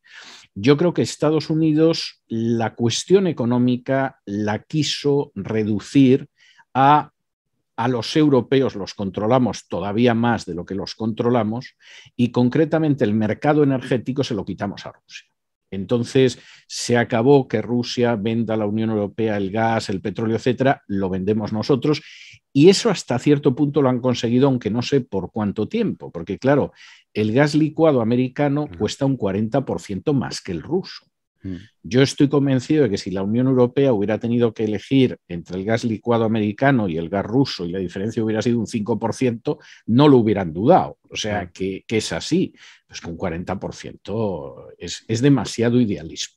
Mm. Entonces, eh, ahí se produce una situación que efectivamente de momento Estados Unidos parece que domina, pero que abre para mí lo más importante de todo este conflicto y es de lo que no se está hablando porque estamos viviendo un conflicto en términos propagandísticos, es decir, la heroica, pura y democrática Ucrania, que no ha sido nunca ninguna de las tres cosas, pues combatiendo con la despótica Rusia, que además tiene a su cabeza un tirano sanguinario, etcétera, etcétera. Bien, eso a efectos de propaganda se podría hacer mejor, entre nosotros, o sea, si vas a mentir propagandísticamente se puede hacer mejor, es muy burdo, pero hay gente que ha comprado ese discurso. Pero el problema de fondo no es ese. Voy a intentar explicarlo en un minuto, porque pero, pero esta, no, pero esta, eh, para mí esta es la clave y esto es lo que hace que estemos viviendo una situación muy peligrosa. En contra de lo que pueda pensar la mayoría de la gente, que seguramente la mayoría de la gente es lo que piensa, la base de la hegemonía de los Estados Unidos como primera potencia, y ha habido planes para que fuera además única superpotencia, la base no es la fuerza militar. De hecho, hombre, la fuerza militar es importante, te permite invadir determinados países, no ganar una sola guerra en lo que llevamos de siglo XXI, salir muy mal de Afganistán, pero bueno, no es la base de la hegemonía de Estados Unidos. Por eso, si al final salen mal de Afganistán, mm, salvo los que han ganado muchísimo dinero vendiendo armas, aun con eso, Estados Unidos tampoco queda necesariamente tan mal. La base de la hegemonía de Estados Unidos está en el dólar y concretamente está en los acuerdos económicos de Bretton Woods que se producen en esta localidad de New Hampshire, en un hotel, en 1944 cuando, eh, pues hombre, la Segunda Guerra Mundial está acabada porque los soviéticos eh, están ya en Alemania prácticamente, han llegado a Polonia, eh, han desembarcado apenas unas horas antes los americanos, británicos y canadienses en Normandía y a esto le quedan dos telediarios. Y entonces hay que ver cómo organizamos económicamente el mundo de la posguerra. Ahí se reúnen las 40 naciones aliadas, pero no hace falta decir que las que pesan pues son Estados Unidos, Gran Bretaña y la Unión Soviética. La propuesta de Gran Bretaña es que todas las transacciones económicas en el futuro se hacen de acuerdo a una canasta de monedas, entre las cuales, por supuesto, va a estar el dólar, pero también nuestra libra esterlina, etc. Los americanos dicen que ni hablar. Es decir, no, no, no, a partir de ahora la única moneda de intercambio universal es el dólar y todas las transacciones se hacen en dólares. Y la Unión Soviética lo acepta en parte porque ellos tienen otro sistema económico, pero en parte porque Estados Unidos se compromete a que ese dólar va a estar respaldado por el oro. Y por lo tanto, como se sigue un patrón oro, aunque esté unido al dólar, el dólar es fiable, no son solo papelitos, sino que es fiable. Eso permite que Estados Unidos, por ejemplo, se endeude de una manera que no se puede endeudar ninguna nación en el mundo. Es decir, si en estos momentos incluso Alemania, Francia, no digo España, tuvieran una deuda como la deuda de Estados Unidos, les habría intervenido el Fondo Monetario Internacional, les hubiera puesto unas condiciones salvajes, etcétera, etcétera. En Estados Unidos no sucede porque al ser el dólar la única moneda de intercambio universal, al final la deuda de Estados Unidos la paga el resto del planeta. Es decir, el dinero del resto del planeta acaba en Estados Unidos, pues eh, se refugia en esa moneda y al final el déficit la deuda americana, quien la cubre, pues es precisamente la existencia del dólar como moneda única de intercambio universal. Esto es un auténtico regalo de, la divinidad porque efectivamente ningún país se lo puede permitir. En un momento determinado, eh, a finales de los años 60, ya se ve que Estados Unidos, con los gastos salvajes de la guerra de Vietnam, que por supuesto hicieron muchas fortunas, pero que era un gasto salvaje para la nación, no podía mantener el dólar vinculado al oro. Y en un momento determinado, en 1971, bien significativo, hace 50 años, Richard Nixon separa el dólar del oro. Con lo cual, el dólar desde hace medio siglo son papelitos. Es decir, e, es así, no tiene el respaldo del oro. Protestó el general de Gaulle en Francia, protestaron algo los alemanes, pero al final aceptaron que siguiera siendo la moneda de intercambio universal. Y esa es la base de la hegemonía americana. ¿Qué ha pasado ahora con toda la situación de Ucrania? Bueno, pues Biden, que está absolutamente desatado, yo no sé si porque ve que no remonta las encuestas, porque va saliendo lo de su hijo, o porque quiere atar corto a los europeos, decide que voy a fulminar a Rusia con sanciones. Le voy a provocar unas sanciones que los voy a aislar, los voy a machacar, los expulso del área del dólar, es como si los echara del planeta. Mm. Ah, pero en esto los rusos estaban preparados.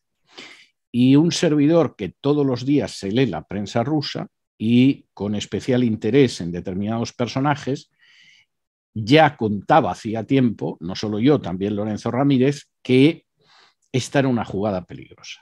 Porque ahí, en el hecho de que te vamos a echar del equipo del colegio y no vas a poder jugar en el patio al fútbol, el niño al que iban a echar resulta que ya llevaba un balón debajo del brazo.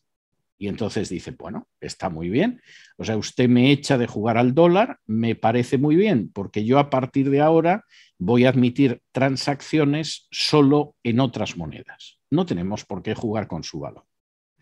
Si esto lo hubiera hecho solo Rusia, pues hombre, seguramente no hubiera tenido una repercusión preocupante.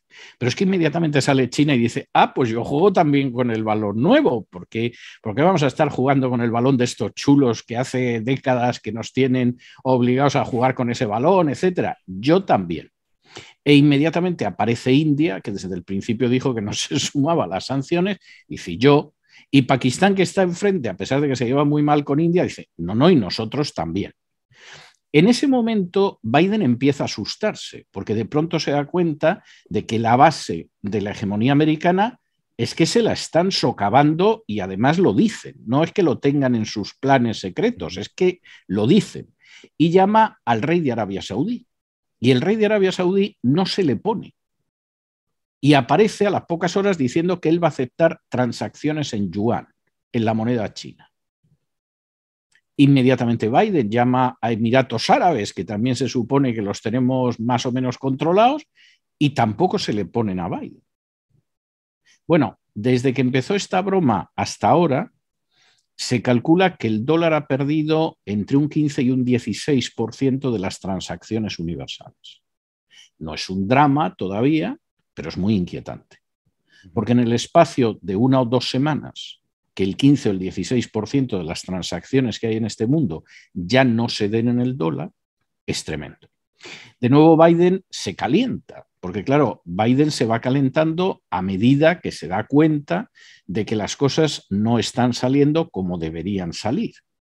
Y entonces, de pronto sale diciendo que va a haber un nuevo orden mundial como si algunos no lo supiéramos, pero ya lo tengo que decir, y esto, por supuesto, lo vamos a caudillar los Estados Unidos. O sea, no me revolváis mucho el corral, porque aquí vamos a un nuevo orden mundial, pero nosotros somos los que vamos a mandar. Y a las pocas horas, pues aparecen Xi Jinping y Putin diciendo que efectivamente vamos a un nuevo orden mundial. Aquí se acabó eso de que hay una sola superpotencia sola.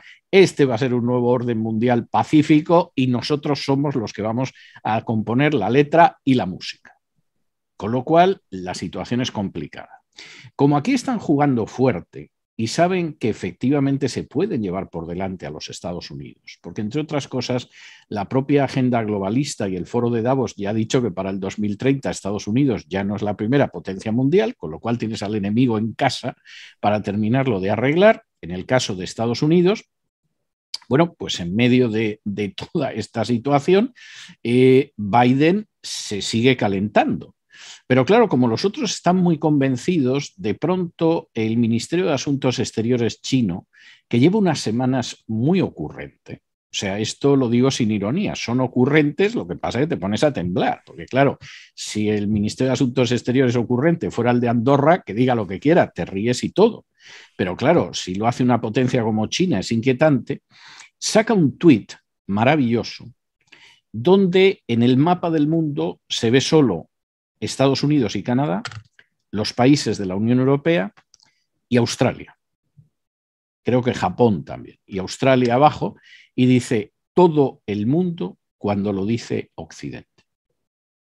Y entonces dices, ostras, es que Estados Unidos está solo. O sea, lo terrible del asunto es que cuando tú ves eso, dices, bueno, vamos a ver, esto de que todo el mundo está en contra de Rusia, van a por ellos, etcétera, esto no es verdad.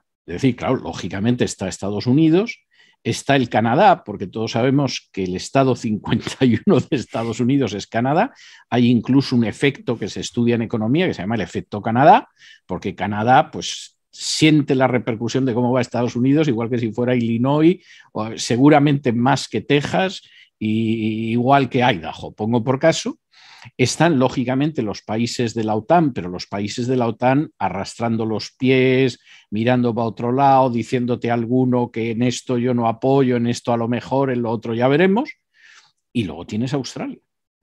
¿Y el resto del mundo? Bueno, pues África, no hay ningún país, de momento ni siquiera Marruecos, que vaya a apoyar esas sanciones. En Hispanoamérica, ningún país, es decir, luego te saldrá Maduro diciendo que le parece muy mal y tal, pero luego a la hora de la verdad, allí nadie quiere saber nada. O sea, ni Argentina, bueno, incluso Argentina, México y Brasil han dicho que son totalmente opuestos y que no lo aplican. ¿eh? Y ahí hay de todos los colores políticos. Y en el caso de Asia, pues salvo el Japón, que habrá que ver al final en qué queda eso, y Corea del Sur, tampoco lo apoya nadie. Y entonces dices, oye, que a ver si ese todo el mundo al final aquí es Estados Unidos y, los vasallos y esto nos coloca en una situación muy delicada a todos. Entonces, vamos a ver, Biden ha ido colocando sobre la mesa cada vez más dinero, esto parece una partida de póker en la que va diciendo lo veo, lo veo, lo veo y, y a los mil añado mil quinientos como en las películas del oeste.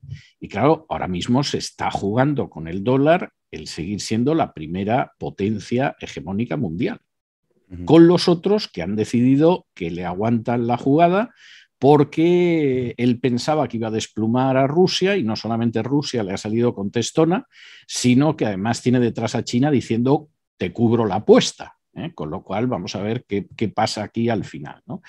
Y eh, esta es una situación inquietante. ¿eh? Y para mí esto es lo más importante, aunque nadie esté hablando de esto, nadie lo relacione ni cosa parecida. A todo esto tengo que decir, y a mí me da mucha pena, porque la situación de Europa aquí, no cabe la menor duda de que quien se está llevando ahora mismo todas cruzadas es Ucrania. O sea, eso no tiene discusión. A mí los ucranianos me dan mucha compasión, porque antes, mucho antes de la guerra, ya la, la tercera parte de Ucrania se había marchado de Ucrania. Es decir, algunos buscándose la vida en Occidente y otros volviendo a Rusia, pues no les dejaban vivir. Entonces, que la tercera parte de la población de un país se marche no dice mucho bueno de ese país, ¿no? Con una enorme corrupción, un país que mm. tendría que funcionar muy bien y es el más pobre de Europa, etcétera, etcétera, etcétera. O sea, no cabe la menor duda de que esos son los que se están llevando los guantazos en primera línea, pero es que después va toda la Unión Europea. Y, claro, lógicamente, como en todo, los países fuertes de la Unión Europea, los golpes los van a aguantar mejor, aunque Alemania ya ha entrado en recesión el mes pasado. Y en el caso de los países débiles, como es el caso de España, etcétera, pues bueno, el, el panorama es un panorama tremendo. De modo que aquí hay una gran jugada de ajedrez. En esa gran jugada de ajedrez hay piezas que se van a sacrificar y desgraciadamente entre las piezas que se van a sacrificar están las de la Unión Europea, porque quien dirige la jugada por su lado ya ha dicho que puede aguantar perfectamente el daño económico que le va a causar a la Unión Europea no tener gas, que es algo maravilloso. O sea, es como decir, en medio de toda esta situación, mira, Jano, si te roban el piso en el que vives, yo lo puedo soportar. O sea, no te preocupes, que si te desvalijan y vienen los ocupas, yo eso lo puedo soportar y es para decir, hombre, claro, no es tu piso. Bueno, pues esas son las declaraciones de Biden en una de las reuniones de la NATO de hace muy pocos días. Sí, y, al final uno cuando escucha a Biden no sabe si ha tenido un lapsus o lo dice de verdad, porque hemos llegado ya a este punto que desde este hombre lo habrá dicho porque es un lapsus, lo dirá en serio. Pero hablando de... Tiene, tiene lapsus, pero tiene lapsus además muy bochornosos tiene al antiguo médico personal de Obama que ya hizo, ya hace varias semanas dijo que había que sacarlo de la Casa Blanca porque no, no estaba capacitado mentalmente para seguir. Eso es verdad.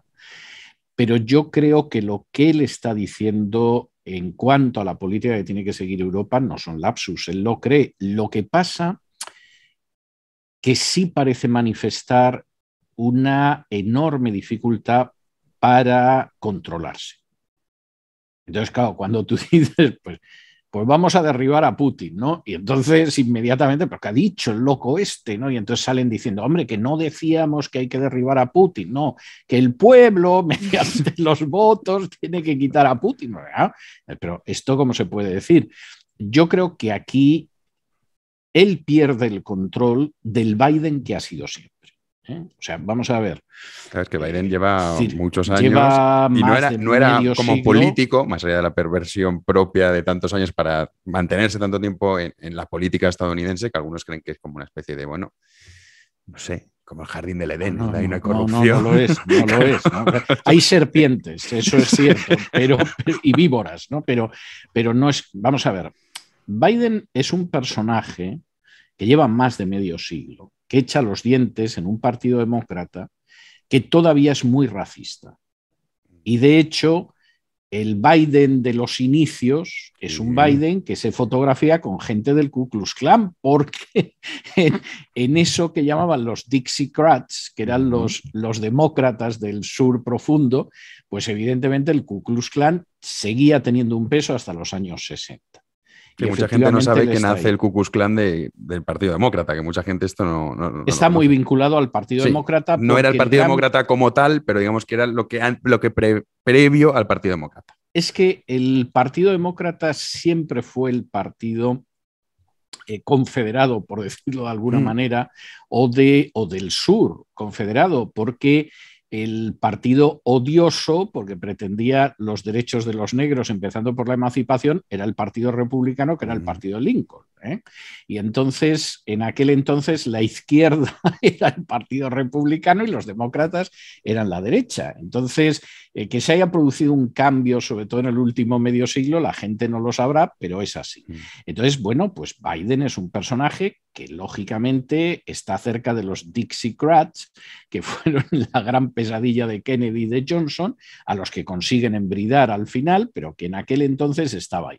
Pero es que luego, cuando el Partido Demócrata va por otro lado, eh, Biden no se corrige. Hay un vídeo que la gente puede encontrar en Internet donde él se jacta de que la idea de bombardear eh, Belgrado fue suya.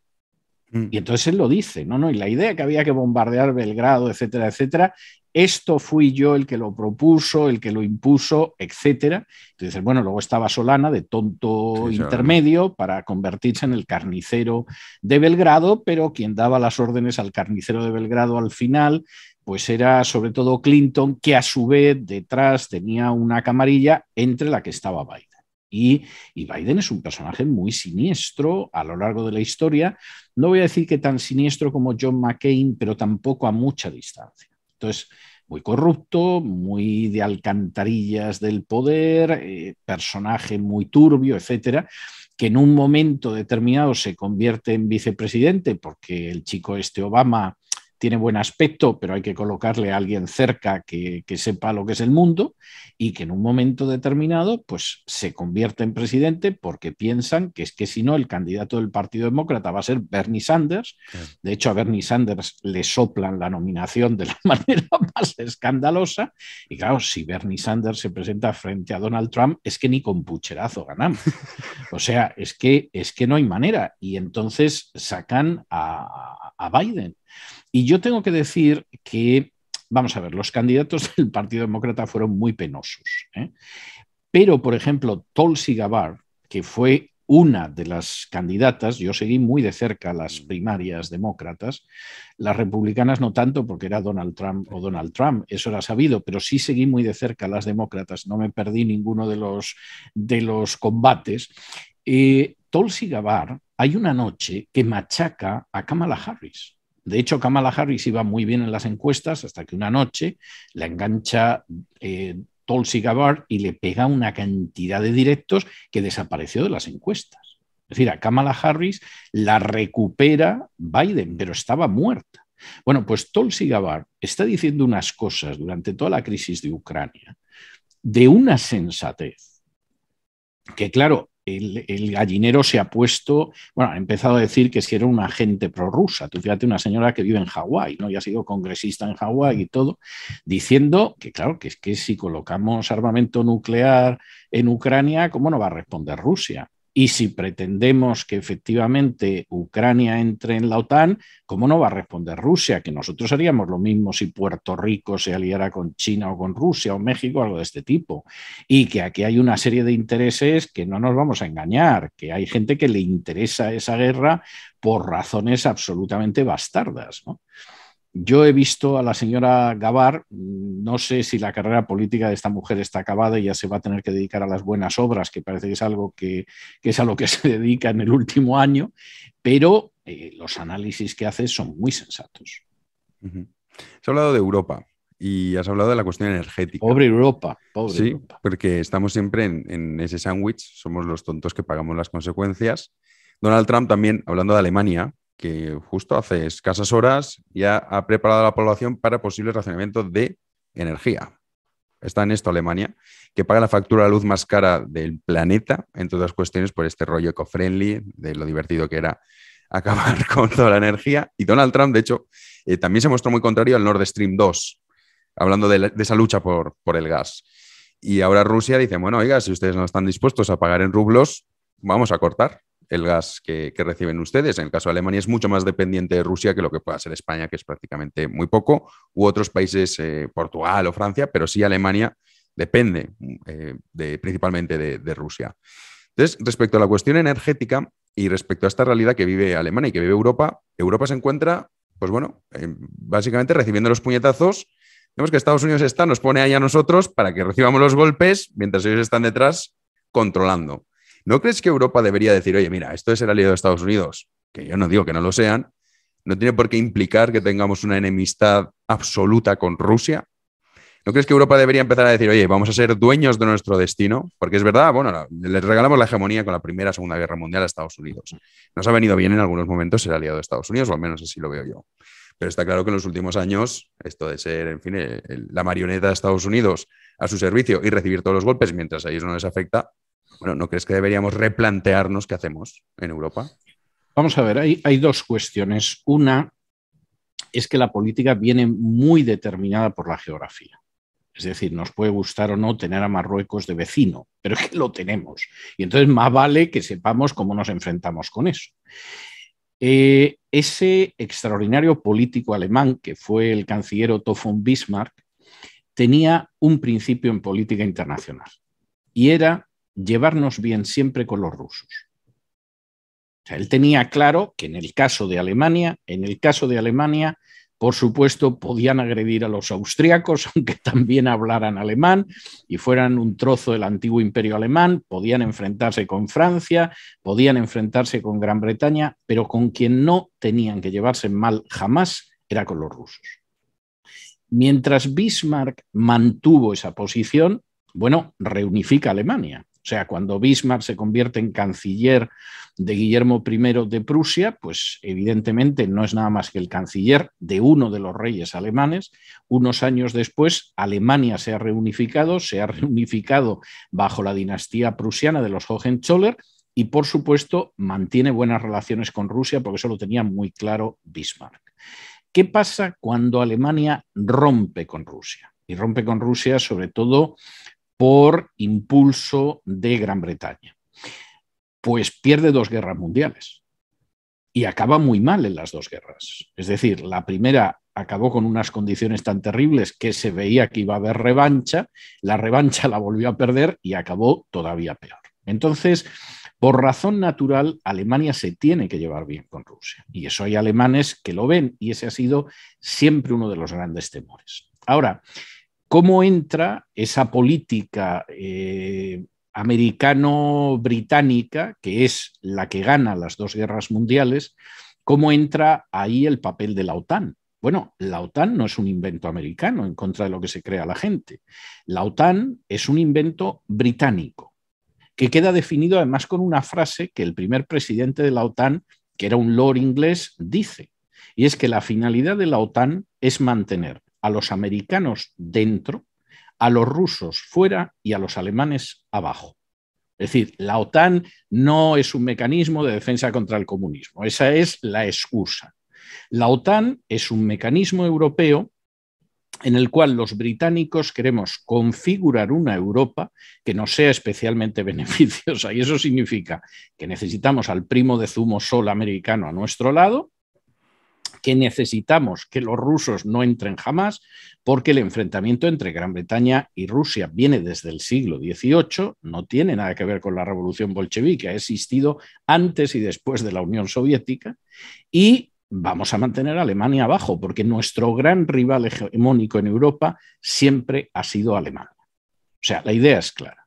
Los americanos están tan ayunos de esta historia que cuando eh, en el año 51 el general Eisenhower es el jefe de las Fuerzas Armadas de la OTAN, él dice, si para dentro de 10 años todos los soldados americanos en el continente europeo no han vuelto a casa, hemos fracasado. Es decir, esto tiene un sentido sobre la base de que, hombre, respaldemos a los europeos para que se defiendan, etcétera. Pero de aquí nos tenemos que ir. O sea, a Estados Unidos no le conviene estar aquí, tampoco le conviene Europa. Si en 10 años no nos hemos ido, esto va a ser un fracaso. Bueno, 10 años después, despidiéndose de la Casa Blanca, Eisenhower advierte de lo que es el complejo militar industrial, que es muy responsable de lo que ha pasado con la OTAN después y es tremendamente grave en este sentido. ¿Qué sucede? Pues hombre, es que Europa no tiene ninguna fuerza. Es que de pronto Europa se ve obligada a adoptar decisiones que le perjudican. Hay gente que le perjudica más o menos, es decir, a una Italia, a una España, pues no poder vender hortalizas a Rusia le viene mal, pero bueno, no nos quiebra la economía, nos vendría muy bien llevarnos bien con Rusia, pero bueno, no es tanto.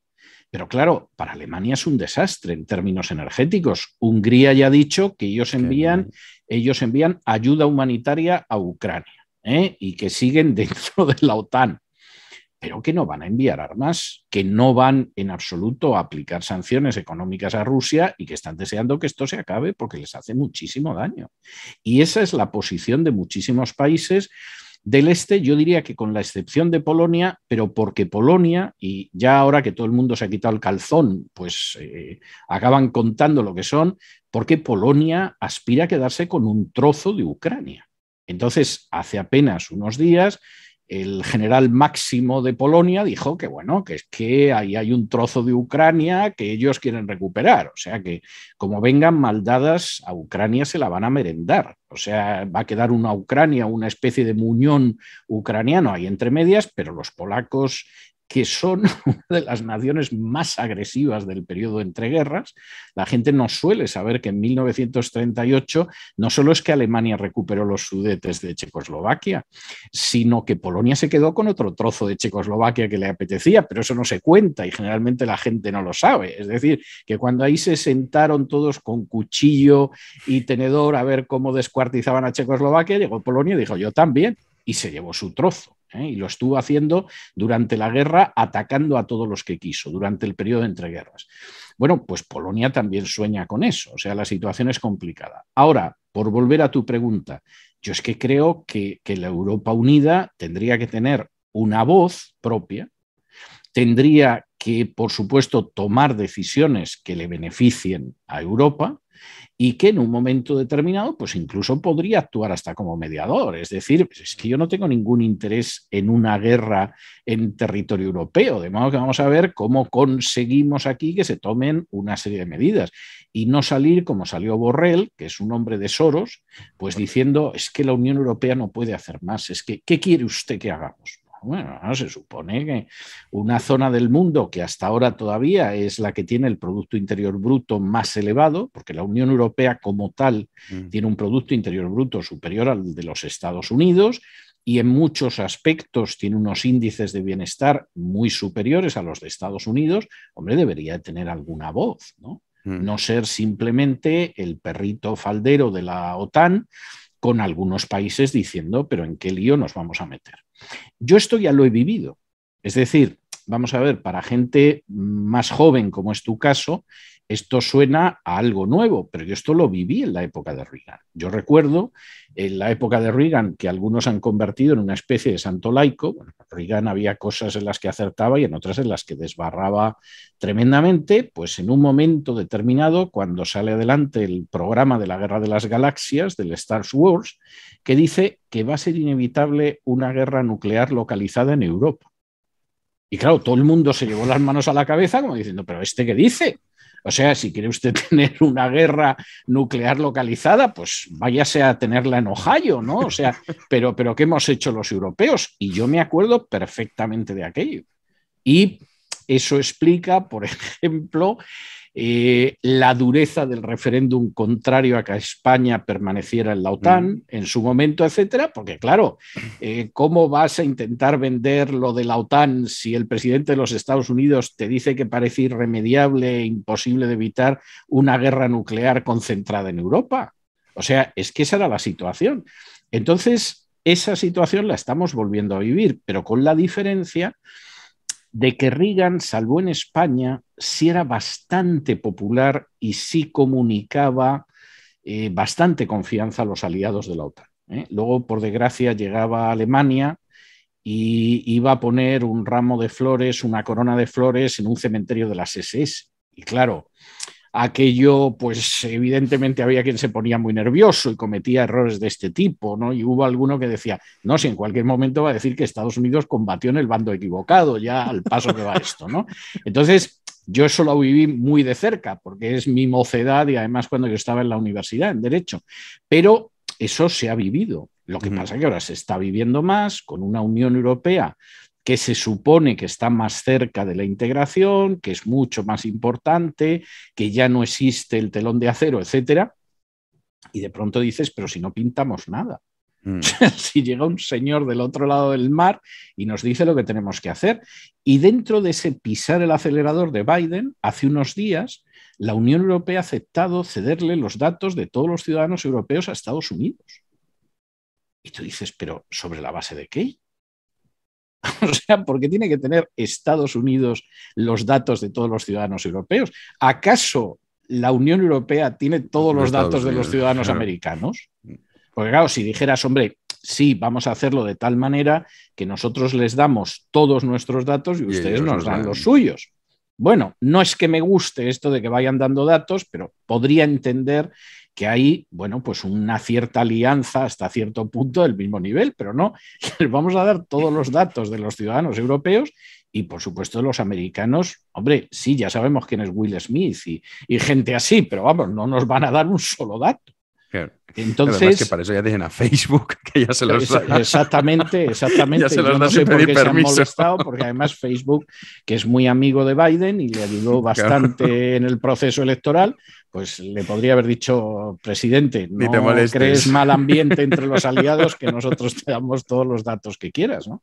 Pero, insisto, es que, es que esto no puede ser. Mm. Y Hombre, pues habrá gente que considerará que la subordinación de la Unión Europea y sobre todo de la NATO, de la OTAN a Estados Unidos es positiva.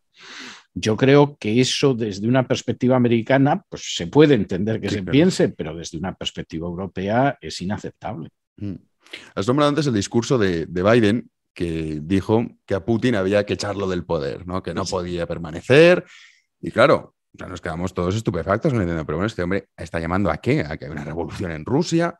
Y salió Macron, Macron, o sea, para que tenga que salir Macron, es decir, no, no, no, nosotros rechazamos estas declaraciones que, porque también Macron está en campaña electoral, si es que todo es que Macron está en campaña claro, es que, pero por eso digo que es que estamos en, un momento que intentamos reducir todo a A o B, no, es que hay tantísimas variables, entonces Macron decimos, ahora, ¿por qué se está tanto Macron en las noticias? Porque tiene una campaña electoral y tiene unas elecciones dentro de muy poquito.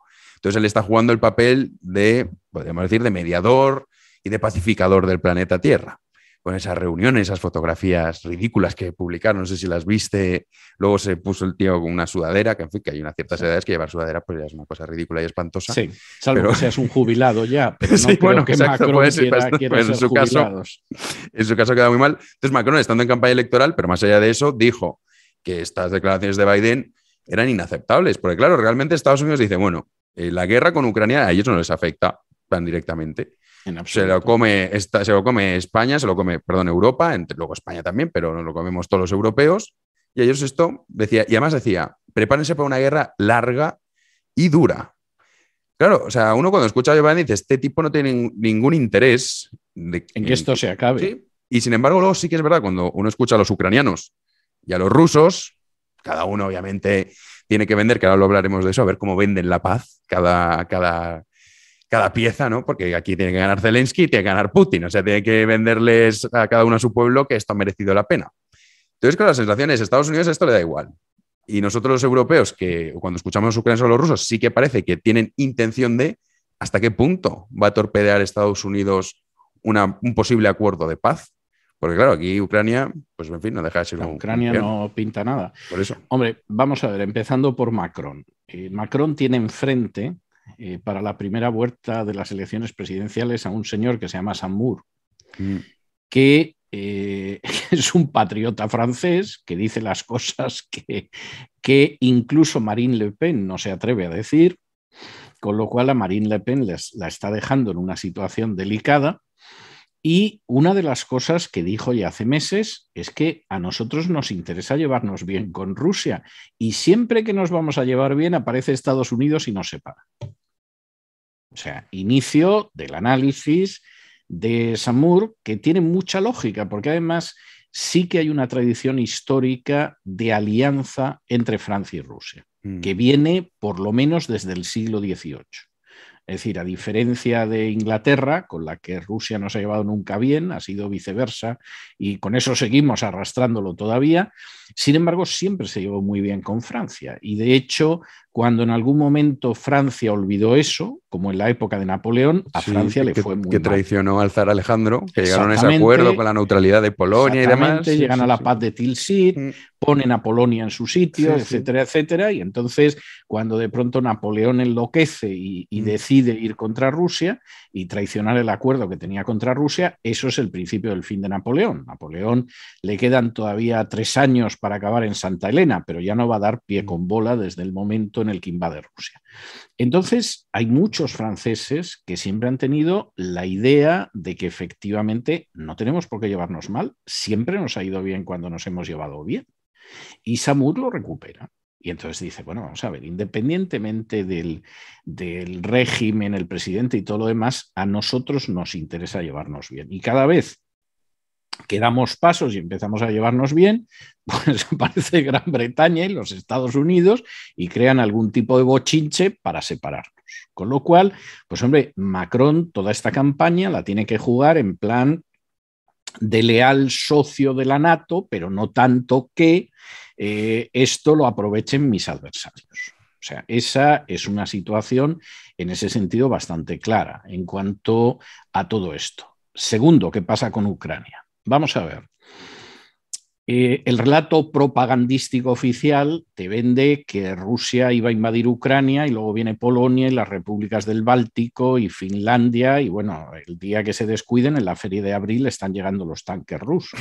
Esto es un disparate, aunque efectivamente, pues claro, es lo que se está vendiendo. ¿no? Vamos a ver, Rusia ha tenido siempre unos objetivos muy limitados en la guerra de Ucrania. Esos objetivos los alcanza prácticamente a las dos semanas, lo que es un tiempo casi récord. Luego se ha dedicado a hacer limpieza en las zonas que ocupabas, pues sobre todo de santos hermanos mártires como los nazis del batallón Azov, etcétera, etcétera. Pero mm, prácticamente en las primeras 24 horas Rusia aniquila al ejército ucraniano. Pues claro, en el momento en el que tú destrozas más de 10.000 enclaves militares y acabas con la aviación y acabas con los blindados y acabas con los transportes, es que los que están enfrente no les queda más que rendirse con honor. Esa es la realidad. Luego ellos van ocupando, pero la ocupación se centra sobre todo en lo que es el Mar Negro, que no hay mucha duda sobre cómo ha ido la cosa, en las repúblicas del Donbass y se acabó. Y luego ciertos avances para asegurar la seguridad del flanco y se terminó. No han pretendido nunca entrar ni en Kiev ni en otros sitios, aunque hayan colocado tropas para evitar movimientos desagradables de los ucranianos. De hecho, desde hace semanas lo que está combatiendo a los rusos son sobre todo unidades muy ideologizadas que van machacando los rusos una tras otra. En el caso de Mariupol, pues el batallón Azov, grupos de mercenarios, de los cuales hay bastantes que ya hace tiempo que empezaron a marcharse de Rusia porque han visto lo que hay, y seguramente esto se hubiera terminado hace mucho si Estados Unidos nos hubiera empeñado en seguir armando a Zelensky y en empujar a sus aliados para que lo hagan. ¿Puede Zelensky ganar la guerra? Hombre, tal y como está planteado es imposible. Eso lo sabe cualquiera que sea militar, que conozca la geoestrategia, etc. El sueño de Biden, y en algún momento se le ha escapado, es que ahí se establezca una guerra de guerrillas contra Rusia. Pero claro, una guerra de guerrillas es posible sobre la base de que Rusia ocupe toda Ucrania, que no quiere hacerlo porque no entra en sus objetivos, y además de que tú tuvieras un territorio que no fuera el de Ucrania.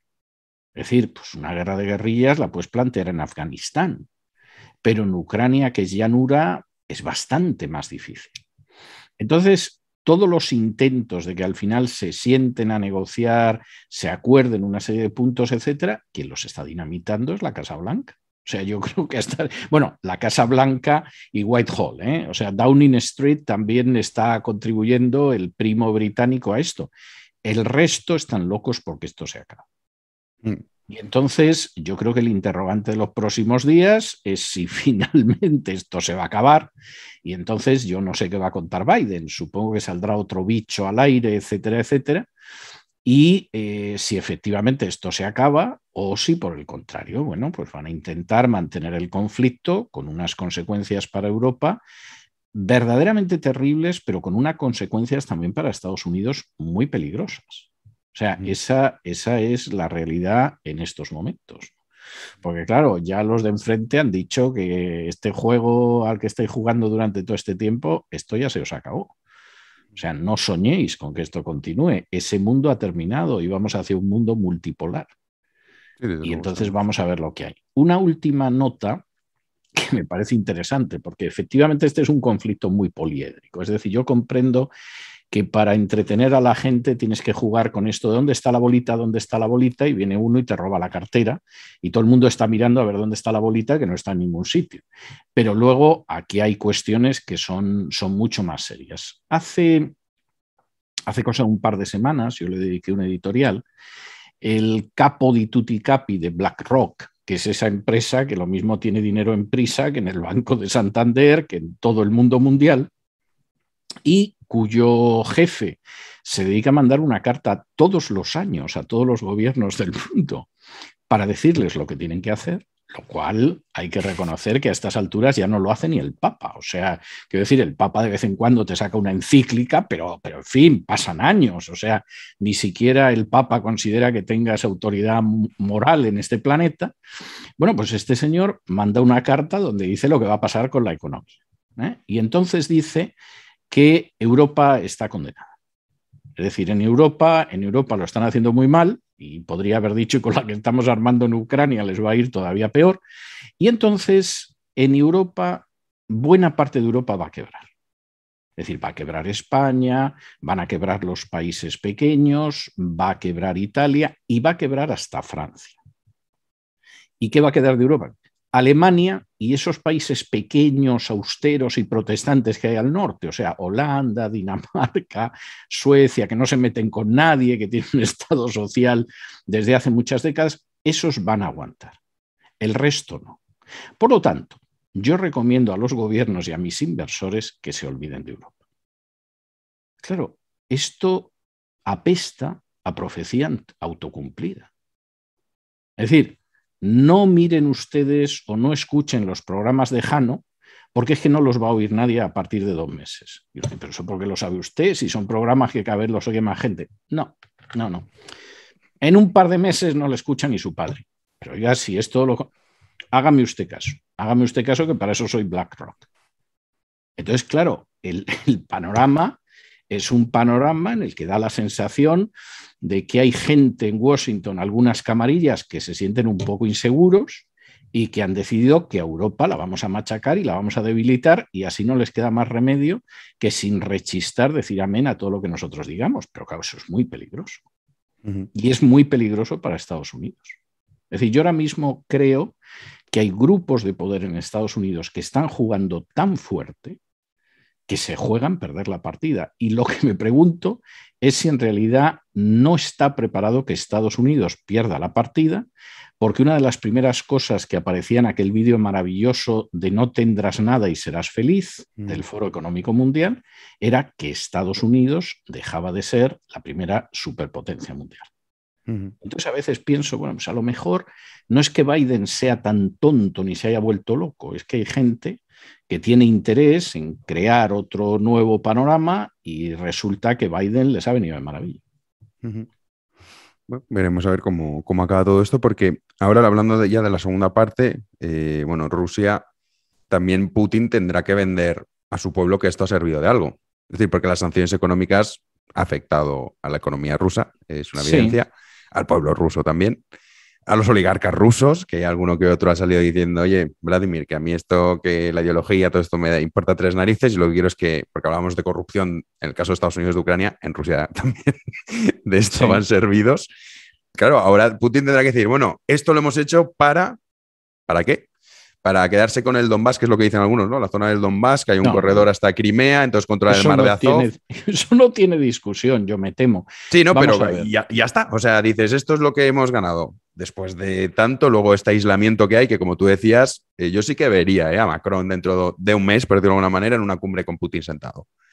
Yo no tengo ninguna duda de que eso es posible. Claro, pero seguramente es, lo que él querría. exacto. Que le, que le, dejen ya es otro cantar. ese es el tema, que Estados Unidos esto lo va a evitar por todos los medios. Entonces, claro, ahora, ¿qué puede vender? Y luego Zelensky, porque está la parte de Putin, pero Zelensky también que tendrá que vender algo, decir, oye, hemos resistido a cambio de qué? De que nos troceen el país en nuestra cara y que lo que posiblemente pase, perdamos nuestro territorio, nuestra soberanía y que ahora encima ya tengamos que decir poco menos que somos, bueno, pues en fin, unos olvidados más que ha pasado por ahí la geopolítica internacional, hemos visto las consecuencias y aquí nos quedamos.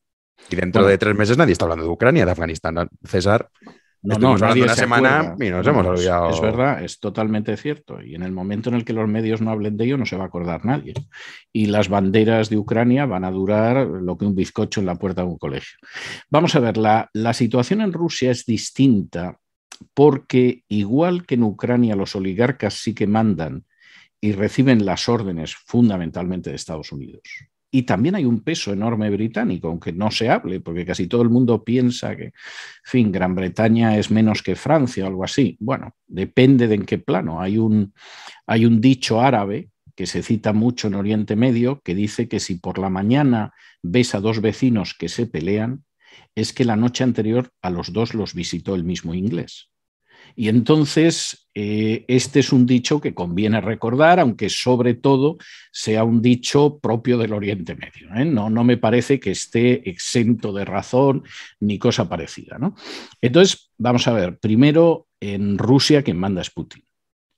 En Ucrania nunca ha mandado ni Poroshenko, ni, ni Zelensky, ni cosa parecida. O sea, esos han obedecido órdenes, le han sacado un beneficio considerable a la obediencia, pero no son ellos los que mandan. Punto uno. Segundo, seguramente alguno de los oligarcas, que yo no sé por qué los llaman millonarios cuando son ucranianos y los llaman oligarcas cuando, son, rusos, pero, sí, son oligarcas igual. Vamos, vamos a aceptar lo de oligarca porque además ese es un término, el de oligarca, que es como se dice oligarca en ruso, que lo crean los propios rusos. O sea, son los propios rusos los que los llaman oligarcas. Yo creo que está bien utilizar el, término. En el caso de los oligarcas, vamos a ver, hombre, te ha podido tocar la mala suerte de que tenías un yate atracado en el puerto de Barcelona y Pedro Sánchez, eh, Pedro Antonio, que ha decidido que es el más atlantista de todos los atlantistas, pues que va y te lo embarga. Lo cual es muy preocupante, ¿eh? porque si de pronto un Estado, sin existir una situación de guerra, le puede embargar a cualquiera lo que quiere, hoy le embarga el yate al oligarca ruso, pero mañana te embarga a ti tu vivienda o tus ahorros en el banco. bueno, esto, ya está planteado, César, ya se ha planteado en la nueva ley. Con la ley de seguridad nacional, efectivamente. Bueno, si yo creo que vamos a vivir una operación de latrocinio masivo en los próximos años. me da mucha pena decirlo, pero me parece que es así. Entonces, claro, vamos a ver, al oligarca le puedes fastidiar eso o al que era propietario del Chelsea, pues le puedes fastidiar y tal. Pero en términos generales, los oligarcas, salvo este tipo de molestias, les ha ido bastante bien porque tienen sistemas de eludir las sanciones. Y esto se sabe, se sabe cómo funcionan y ha habido algún aliado, mira tú qué casualidad, Reino Unido, diciendo que se nos escapan. ¿Eh? que al el Chelsea, como vivía aquí, le hemos podido crujir en lo que hemos podido, que ustedes eh, determinada vivienda o determinado yate han hecho esto, pero que estos es que ni los tocamos prácticamente. Claro, vamos a ver, a ti o a mí nos embargan el equivalente al yate famoso, que no lo tenemos ni por aproximación, ni siquiera juntando los dos patrimonios. Y para pagar un patrón Nos han, nos han fundido. ¿eh? Pero para esta gente, pues, ¿qué te voy a decir yo? Pues es como si de pronto te roban un ejemplar del Quijote que tienes ahí en la librería que sacó Planeta en una edición de bolsillo hace 20 años. Hombre, pues no te gusta, pero tampoco te complica la vida. Entonces, yo en ese sentido creo que los oligarcas rusos son de los que van a salir mejor parados en todo esto. ¿Qué pasa en el caso de los rusos? Y eh, yo sigo viendo la televisión, escuchando la radio y leyendo la prensa rusa a diario, porque eso lo he hecho durante décadas y no he dejado de hacerlo ahora, ahora incluso con más razón. Es una de las prensas que yo veo a diario. Pero luego, aparte de eso, yo tengo conocidos en Rusia. Para el que no lo sepa, la... don César Vidal habla ruso, entiende el ruso, lee el ruso, lo digo para que, algunos, dirán, pero César, ¿qué va a haber César en ruso? Claro, para aclararlo, que, entiendes lo que lees, vamos. Yo a mí me das un periódico ruso y no sé nada. Lógico. El último libro que se publicó de Solzhenitsyn en español, que era El colapso de Rusia, que lo publicó Spasacalpe, lo traduje yo del ruso. O sea, es uno de los autores que yo no solo he traducido del ruso, sino que incluso lo publicó alguna editorial española. Pero el punto al que voy, eh, yo mantengo contacto con gente que vive en Rusia. La mayor preocupación de la gente es la familia que está en Ucrania. Porque claro, esta es una situación en la que la gente piensa, pues qué sé yo, que ucranianos y rusos pues son como chinos y japoneses, ¿no? Más o menos parecidos, pero enfrentados, ¿no? No, los ucranianos y los rusos es un problema como el que se produciría en España si Cataluña se independizara y Cataluña fuera Ucrania y entonces hubiera relaciones tensas, pero resulta que yo tengo unos primos que viven en Cataluña y el catalán pues tiene unos primos que viven en Albacete y entonces le gustaría que las cosas no fueran muy tensas porque la prima Monse pues vive en Burgos y el primo Manolo pues vive en Cornellá y, y entonces esa es la situación que se vive. La gente no sabe que hay muchísimas familias que han quedado divididas, que, tienen una parte de la familia en Rusia o en Ucrania, y eso es lo que más les preocupa de toda esta situación. En términos económicos, de momento no lo están sufriendo como nosotros, no tienen una situación de inflación como la que está sufriendo España y claro, no saben lo que puede suceder, deseando en todos los casos que esto se acabe. ¿Qué tendría que ofrecer Putin para considerar, por cierto, a todo eso, eh, una de las cosas que ha conseguido Biden es agrupar a los rusos detrás de Putin?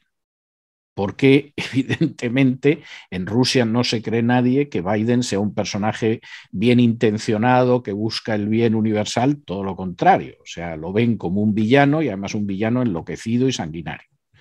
Eh, más o menos como, como ven en Occidente es la imagen de Putin, solo que encima, además en el caso de los rusos, empiezan a tirar del historial de Biden, que es mucho más largo en política que el de Putin, y claro, todavía les puede salir un historial peor, con las fotos del hijo y las niñas en la cama ya ni te cuento. O sea, la idea es que esta es una familia de seres degenerados moralmente. Eh, ¿Con qué se va a quedar Putin y se va a considerar una gran victoria? Bueno, regresan a casa eh, y Lugansk. De hecho, muchas de las cosas que se oían estos días cuando entraban las tropas rusas en Donetsk y Lugansk era porque han tardado ustedes ocho años en venir los del batallón Azov, a los que han ido capturando, seguro que no son esos los sentimientos que tenían, pero mucha de la población civil a la que han machacado con bombardeos estos ocho años y que han tenido en torno a 14, 15 mil muertos, sí lo veían así, y muchos era porque han tardado ocho años en venir. Yo creo que esa gente se va a quedar en Rusia. Mm, votaron la independencia hace tiempo. Finalmente Rusia, que siempre quiso que se mantuvieran en Ucrania con una autonomía, ha aceptado que se reintegren en Rusia. Crimea no tiene discusión. Es más, yo creo que dentro de la NATO, salvo Estados Unidos, todo el mundo sabe que Crimea va a seguir siendo Rusia. Exactamente, eso no tiene más vuelta de hoja. Y luego hay unos pequeños retoques fronterizos que hacen más defendible todo eso y que dan el Mar Negro el control a Rusia, y yo creo que ahí no hay más vuelta de hoja. Es decir, y no creo que Zelensky se pueda oponer, y como quiera organizar algún tipo de guerra de guerrillas, van a machacar a la guerrilla. Es decir, ahí que no, no se espere ningún tipo de complacencia, porque eso es lo que hay. Como era lo que quería Rusia en términos territoriales, pues yo supongo que lo van a presentar, lo van a presentar como la liberación de esto.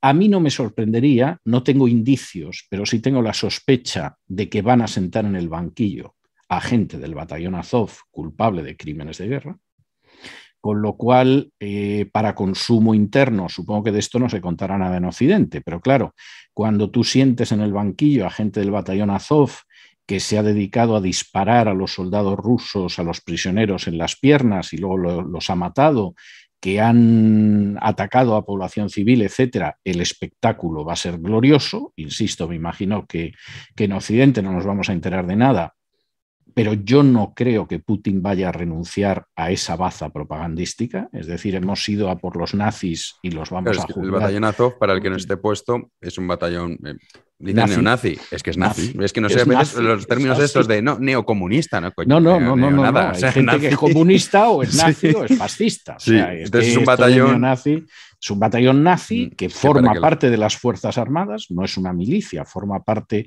de las Fuerzas Armadas ucranianas. Que operan sobre todo en la zona, han estado operando sobre todo en la zona del Donbass.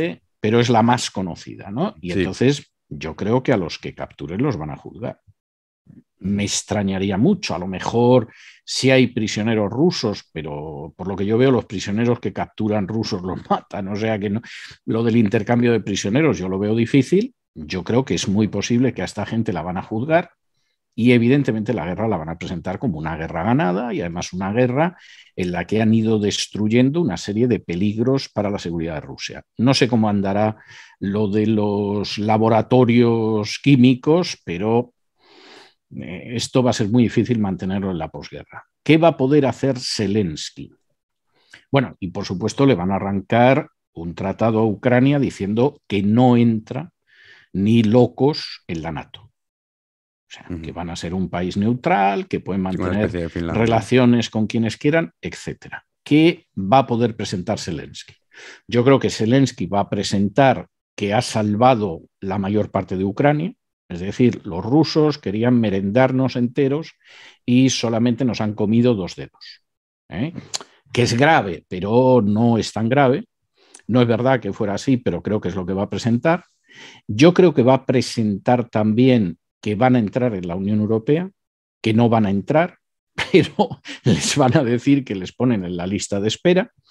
Y lo de la Unión Europea es una cosa que los nacionalistas ucranianos llevan por lo menos 20 años prometiendo a la gente hasta tal punto que hablas con ucranianos y están convencidos de que ese año o el siguiente entran, que te da una pena tremenda, porque dices, le voy a dejar hablar porque es que si le cuento la verdad le voy a dar un disgusto. Y yo recuerdo una vez hablando con un ucraniano, porque es que ya parece que a finales de este año entramos. Y dije, miren, no tienen ustedes ninguna posibilidad. Y al pobrecillo le entró tal depresión que yo cuando lo oigo ya, ya ni les llevo la contraria, porque digo, ¿para qué le vas a disgustar con, con todo lo que lleva encima? Yo creo que eso lo va a presentar y bueno, pues se envolverá en la bandera de que hemos resistido, de que seguimos siendo una nación libre, independiente y democrática y arreando con los faroles. O sea, no creo que haya más. Eh, ¿Estados Unidos va a intentar dinamitar eso? Sí, yo no tengo ninguna duda de que es así, pero yo no sé hasta qué punto eso es algo que, que pueda llegar a hacer. Porque... Vamos a ver, entre otras cosas, el dominio del aire es ruso desde el primer día. Entonces, toda la insistencia de Zelensky de que haya una zona en la que no se pueda volar, etcétera, etcétera, eh, pues eso, entre otras cosas, porque claro, ¿quién va a volar? ¿Estados Unidos? Estados Unidos no quiere entrar directamente en el conflicto. Y el resto de los aliados europeos, pues hombre, para mandar eh, como Alemania, que les ha enviado almohadas y cascos y cosas de este tipo, sí. Pero no nos quiera usted meter en un conflicto donde nos derriben los rusos porque no estamos por la labor. Y de hecho, Polonia, eh, cuando le pidió a Estados Unidos que llevara aviones a Ucrania, le dijo, no, nosotros los aviones los dejamos en Alemania y que vengan los ucranianos a recogerlos. Sí, cierto. Mm. ¿eh? Pero nosotros no entramos en territorio ucraniano, porque lo mismo ese día los rusos se han levantado con el pantalón de cuadros y nos derriban, y aunque nos derriben a cinco o seis, no tenemos por qué pagar esta historia. ¿eh? O sea, una cosa, luego nosotros como las, cheerleaders estas de los partidos de baloncesto americanos, pues hacemos así, Ucrania, Ucrania y tal. Eso sí, pero no nos pida usted que nos pongamos a darnos de golpe con los rusos porque, porque esto es serio. Sí, yo coincido en eso. En, que, por cierto, algún, algún forofo político de Polonia que hay en España, y no voy a insistir más porque no quiero hacer sangre, como de esto no se han enterado, pues se creen que cuando dicen Ucrania, Ucrania va en serio y se están mojando de una manera en apoyar a Zelensky que vamos, eh, hay, hay, gente que nunca debió cruzar el Guadalquivir, o sea, es, es obvio, vamos bueno, mi postura al principio siempre, a ver, estos son intereses, cada uno defiende los suyos. Hay mucho, como dices, muchísimas variables en esta ecuación que podríamos decir que es interminable, que podríamos estar durante tres horas hablando de. Sí, y, seguiríamos sacándole puntos. Y, seguiríamos, sí, sí, porque, es, un problema muy poliédrico. Es decir, yo una cosa que he dicho desde el principio es que, bueno, aquí nos van a vender un relato en blanco y negro. Primero, esto es un relato que va del gris perla al gris marengo, pero no es blanco y negro. Y segundo, aparte del color, que es muy variado en tonos de gris, es que además aquí hay una cantidad de caras y de aristas de las que las más importantes nos las están escondiendo. Esa es la realidad. lo sabes bien porque lo sigues, aunque estés en Estados Unidos, como se trata la información aquí en España sobre este conflicto. y claro, a veces uno dice, bueno, es que eh, yo entiendo que se recurra a, la parte sentimental, pero hombre, llega un punto que dices, vale, más allá de, la tragedia, obviamente las vidas humanas de los pobres ucranianos, que son los primeros inocentes que pagan las consecuencias, la gente no, no, entiende. O sea, no hay información real. Es simplemente, pues vamos a poner el vídeo más dramático que encontramos para decir que Putin ahora es como el, villano del planeta. Eh, yo me he mostrado, y contrario, y lo digo otra vez, lo he dicho mil veces, de la invasión de, Rusia a Ucrania. Pero bueno, de ahí a no querer abordar el asunto y no querer tratar todas esas variables que existen, pues al final uno dice, bueno, es que entonces no, podemos, no sabemos realmente qué es lo que está pasando. Ya no te digo si la cadena de televisión en España pues te saca las imágenes de un videojuego como si fuera ah, un bombardeo ruso. Si en un momento determinado te sacan una maniobra de China como si fuera el ejército ruso, Si determinadas fotos de otras guerras desgraciadas mm. de pronto aparece, como que es en Ucrania, y en fin, para que no se sienta mal la gente que nos ve desde España, la CNN aquí sacó la foto del primer periodista muerto, que se les había muerto varios años antes el mismo periodista con el mismo nombre y la misma foto en Siria. Yo me he preguntado si es el muerto de la CNN, que lo tienen preparado para que cada vez que hay una guerra lo sacan como el primer periodista muerto. Vamos, el error es gordo. ¿eh? es que yo eso dices, es un error, al final uno ya no sabe, porque a ver, hay errores y otras cosas que dices, vamos a ver, o sea, si esto es un error, claro, si estamos hablando de, no, es que esto es un periódico formado, una televisión por becarios, bueno. Pero, los becarios pueden ser un poco rigurosos. pero, exacto. pero que me refiero, pero que. a los becarios. Me ha, quedado esto, me ha quedado esto como muy de Josep Pedrerol, ¿eh? de becarios, no. No, no, no.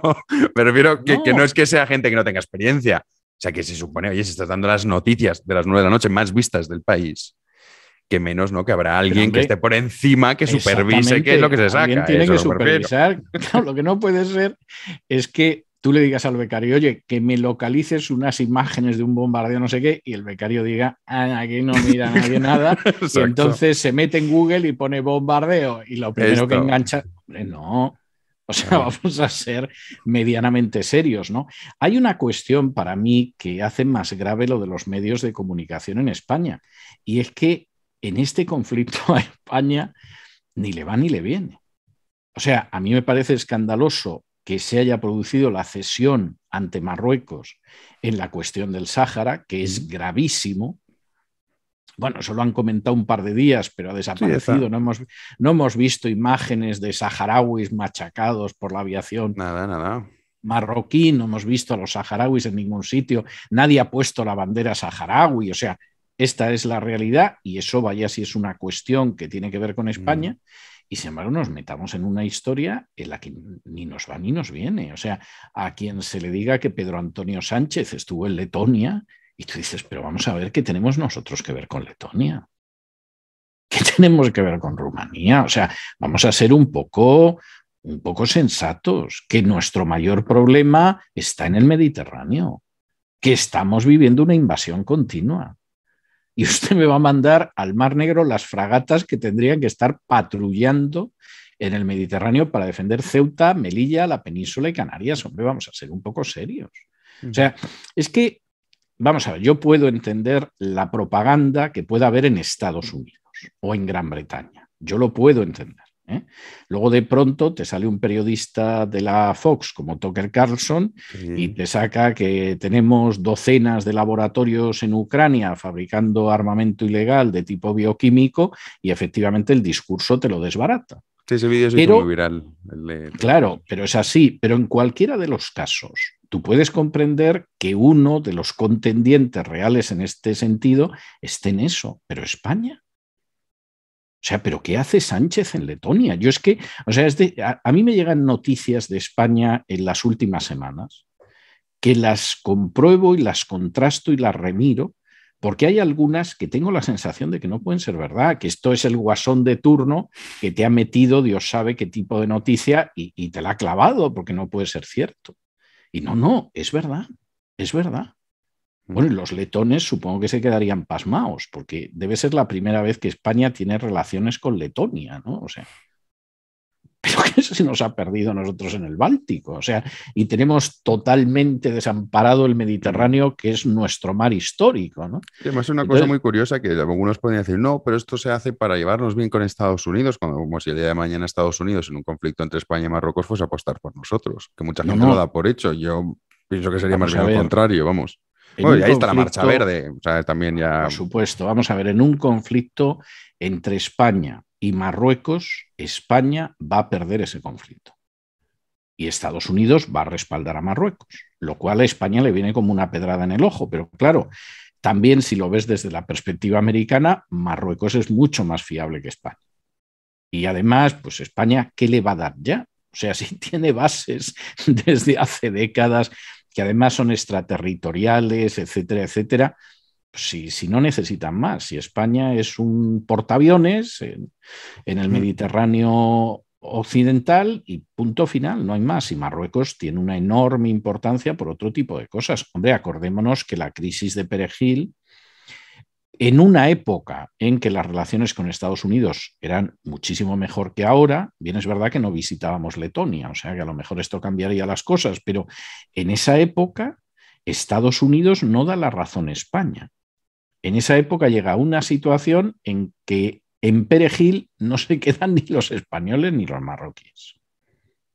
O sea, esto hay que recordarlo. ¿eh? Luego, por supuesto, Aznar lo pudo presentar como que efectivamente la diplomacia americana nos había respaldado, pero no nos respaldó. O sea, la diplomacia americana llega y dice, no, no, no, yo aquí no quiero líos. ¿eh?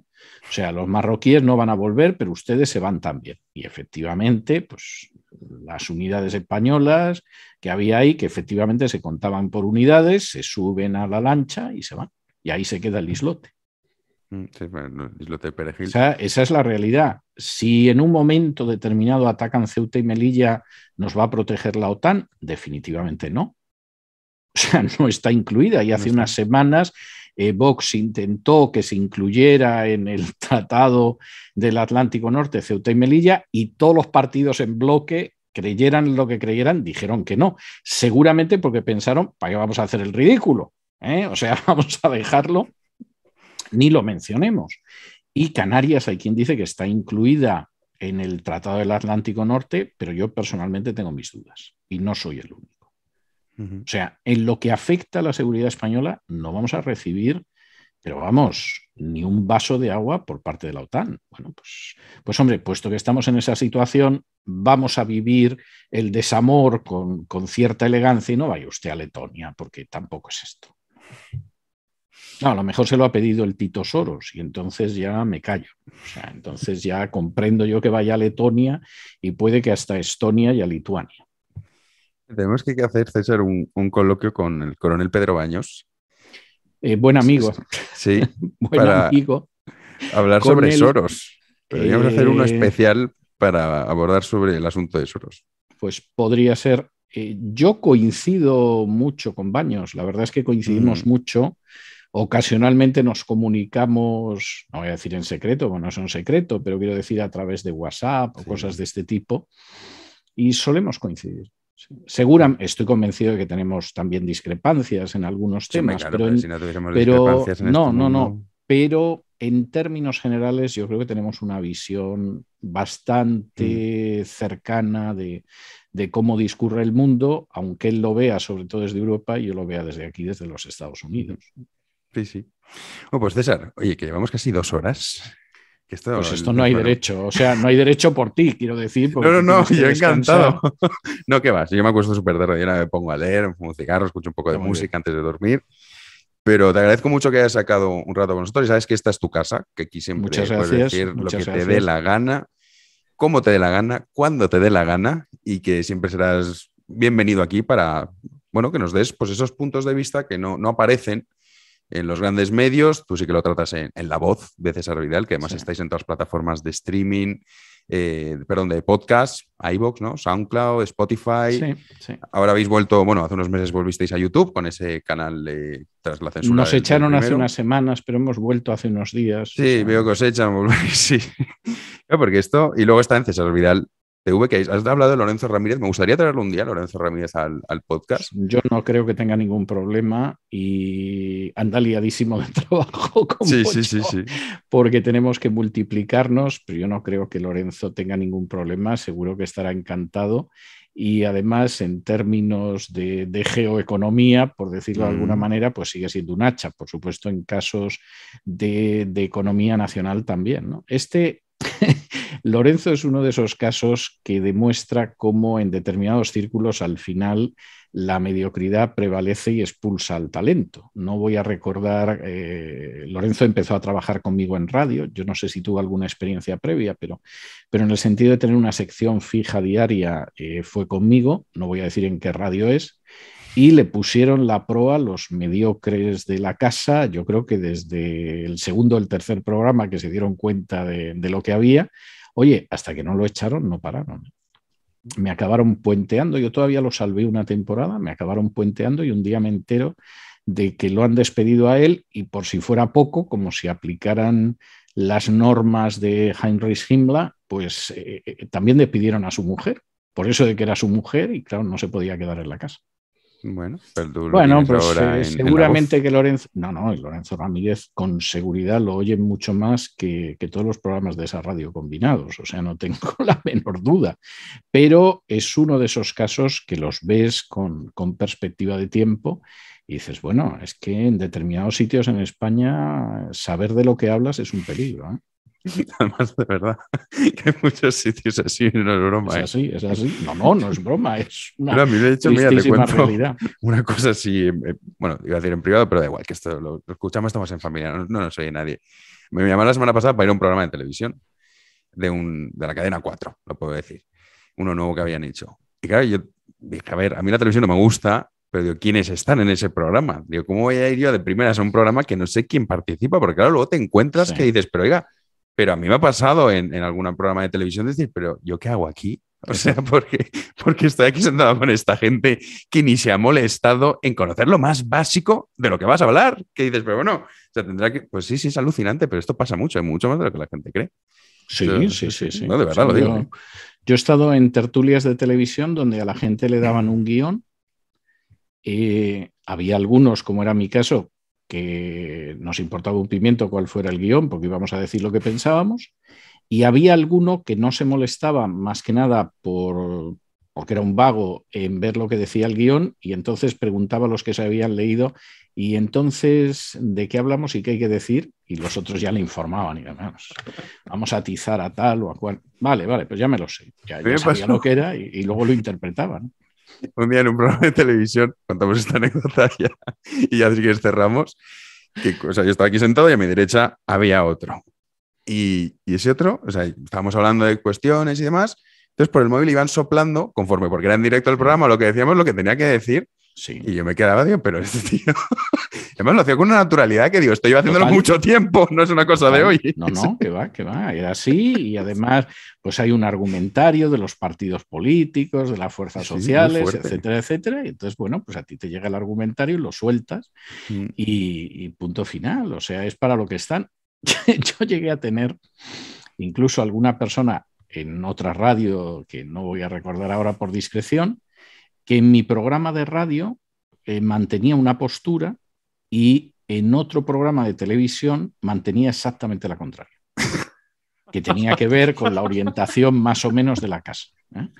Entonces, yo preguntaba a esta persona, bueno, no sé qué, no sé cuántos, y entonces yo ya sabía más o menos lo que iba a responder en mi programa de radio porque ya había visto lo que había dicho en televisión, y entonces sabía que iba a ser lo contrario y era, era tremendamente entretenido. Y esto lo hacía fundamentalmente por razones económicas. De hecho, vivía en un chalet a las afueras de Madrid que estaba muy bien. En un momento determinado, pues se permitió comprarse uno muchísimo más grande, pero de pronto se encontró con que no conseguía vender el primero, que era indispensable. ¿eh? Y entonces se tenía que multiplicar en todo tipo de tertulias de radio y de televisión. Y claro, para conseguir entrar en algunas de las tertulias tenía que adaptarse. Entonces yo confieso que a mí me divertía mucho porque en el momento en el que empezaba a hablar siempre había gente que escuchaba el programa de radio y que inmediatamente mandaba un email diciendo, pero esta señora, pero si ha estado esta mañana en tal televisión y decía todo lo contrario, pero ¿cómo es posible? Pero no sé qué. Yo, encontraba que era algo divertido. ¿eh? Sí, eso, me parece el, 2.0 de la cara dura. ¿eh? Exactamente, este tipo, este tipo de situaciones. Y luego recuerdo otra anécdota, pero yo creo que esta es una de las primeras anécdotas eh, con las que yo me desperté en tertulias de televisión. Estoy hablando de hace prácticamente un cuarto de siglo. Y de pronto en un descanso, un personaje que siempre iba de, independiente, de progresista, etcétera, se había construido una imagen que era absolutamente falsa, pero, pero es verdad que se esforzaba en dar esa imagen de mente, de libre pensador, etcétera. en un momento determinado, eh, vamos a publicidad y anuncian que el siguiente tema que se va a tratar era el lío que había entre Gómez de Liaño y Polanco y Prisa, por otro lado. ¿eh? Esto a ti te sonará a tu infancia, si es que te suena, pero, pero en aquel momento era un tema así. Y entonces el sujeto este suelta en medio del descanso y dice, bueno, cuidado a ver lo que decimos, que Prisa es un grupo muy poderoso. Y yo en ese momento dije, no es posible que haya escuchado lo que acabo de escuchar. De manera que cuando este hombre lanzaba unas soflamas tremendas, yo lo veía, yo decía, anda, anda, anda. Sí, sí, pero esto pasa, ¿eh? a mí me pasa, eh, hablas de los descansos, prometo la última anécdota para que la gente diga, ¿por qué no los descansos son terribles? Se podría hacer un programa de horas solo contando anécdotas lo que pasa de lo que la gente no escucha en la radio y no ve en televisión, porque es mucho más entretenido que lo que se escucha y lo que se ve.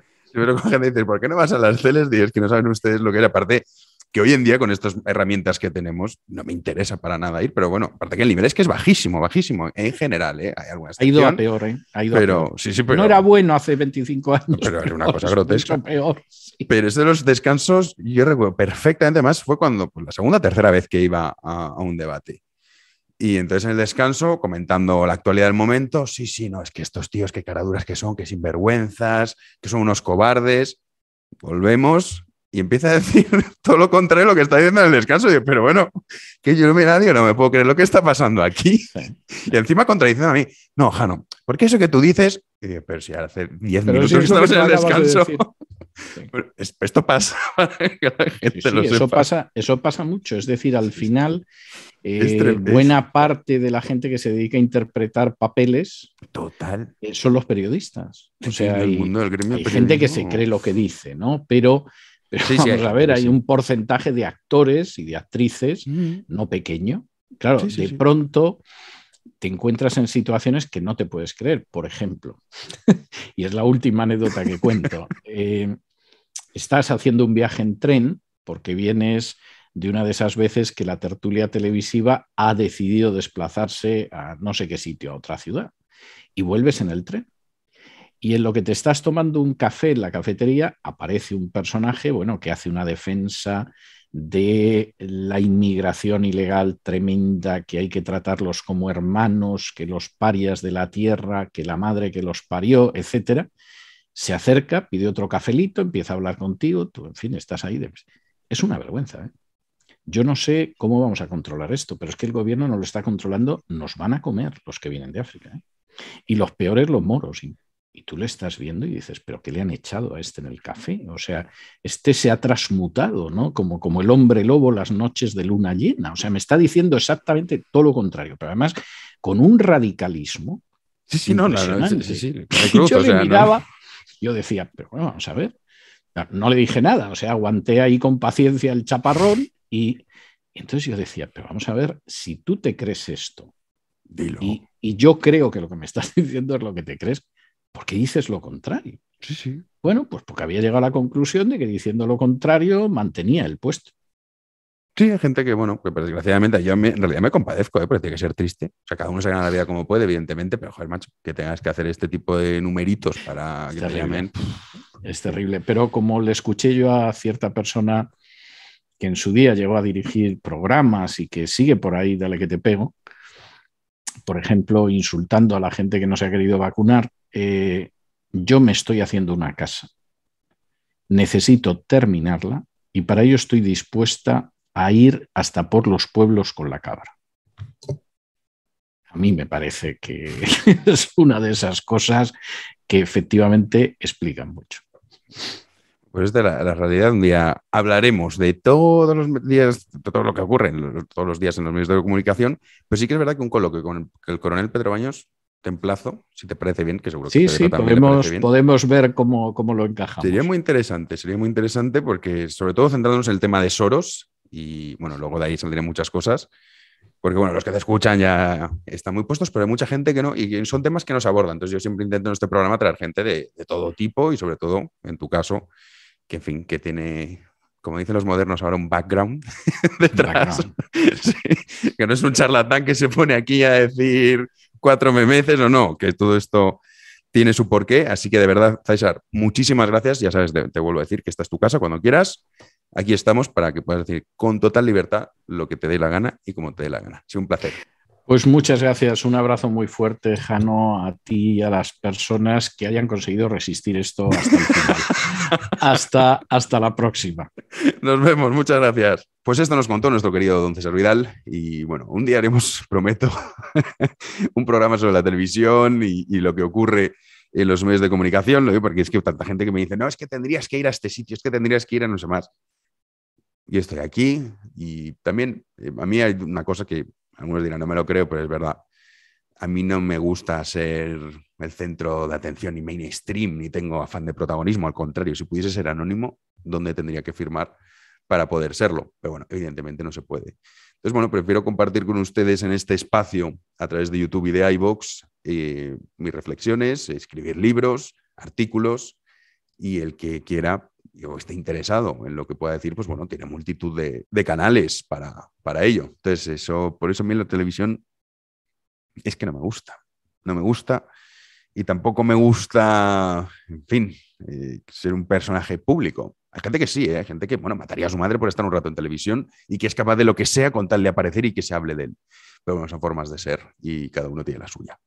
Bueno, vamos a despedir ya este podcast. No podré hacer podcast la semana que viene porque estoy fuera de, España, pero eso sí, como este ha sido muy largo, espero que lo puedan disfrutar y el podcast exclusivo de este mes, el 15 de abril, intentaré eh, publicarlo, casi seguro que lo voy a poder hacer, por fin, si ya que Semana Santa la gente se da vacaciones, está todo el mundo medio despistado, ahí habrá menos, espero, vamos, tener menos trabajo diario y poder hacer ese podcast en exclusividad para ustedes. Como siempre, muchísimas gracias por estar ahí. Nos vemos en una próxima entrega. Hasta luego.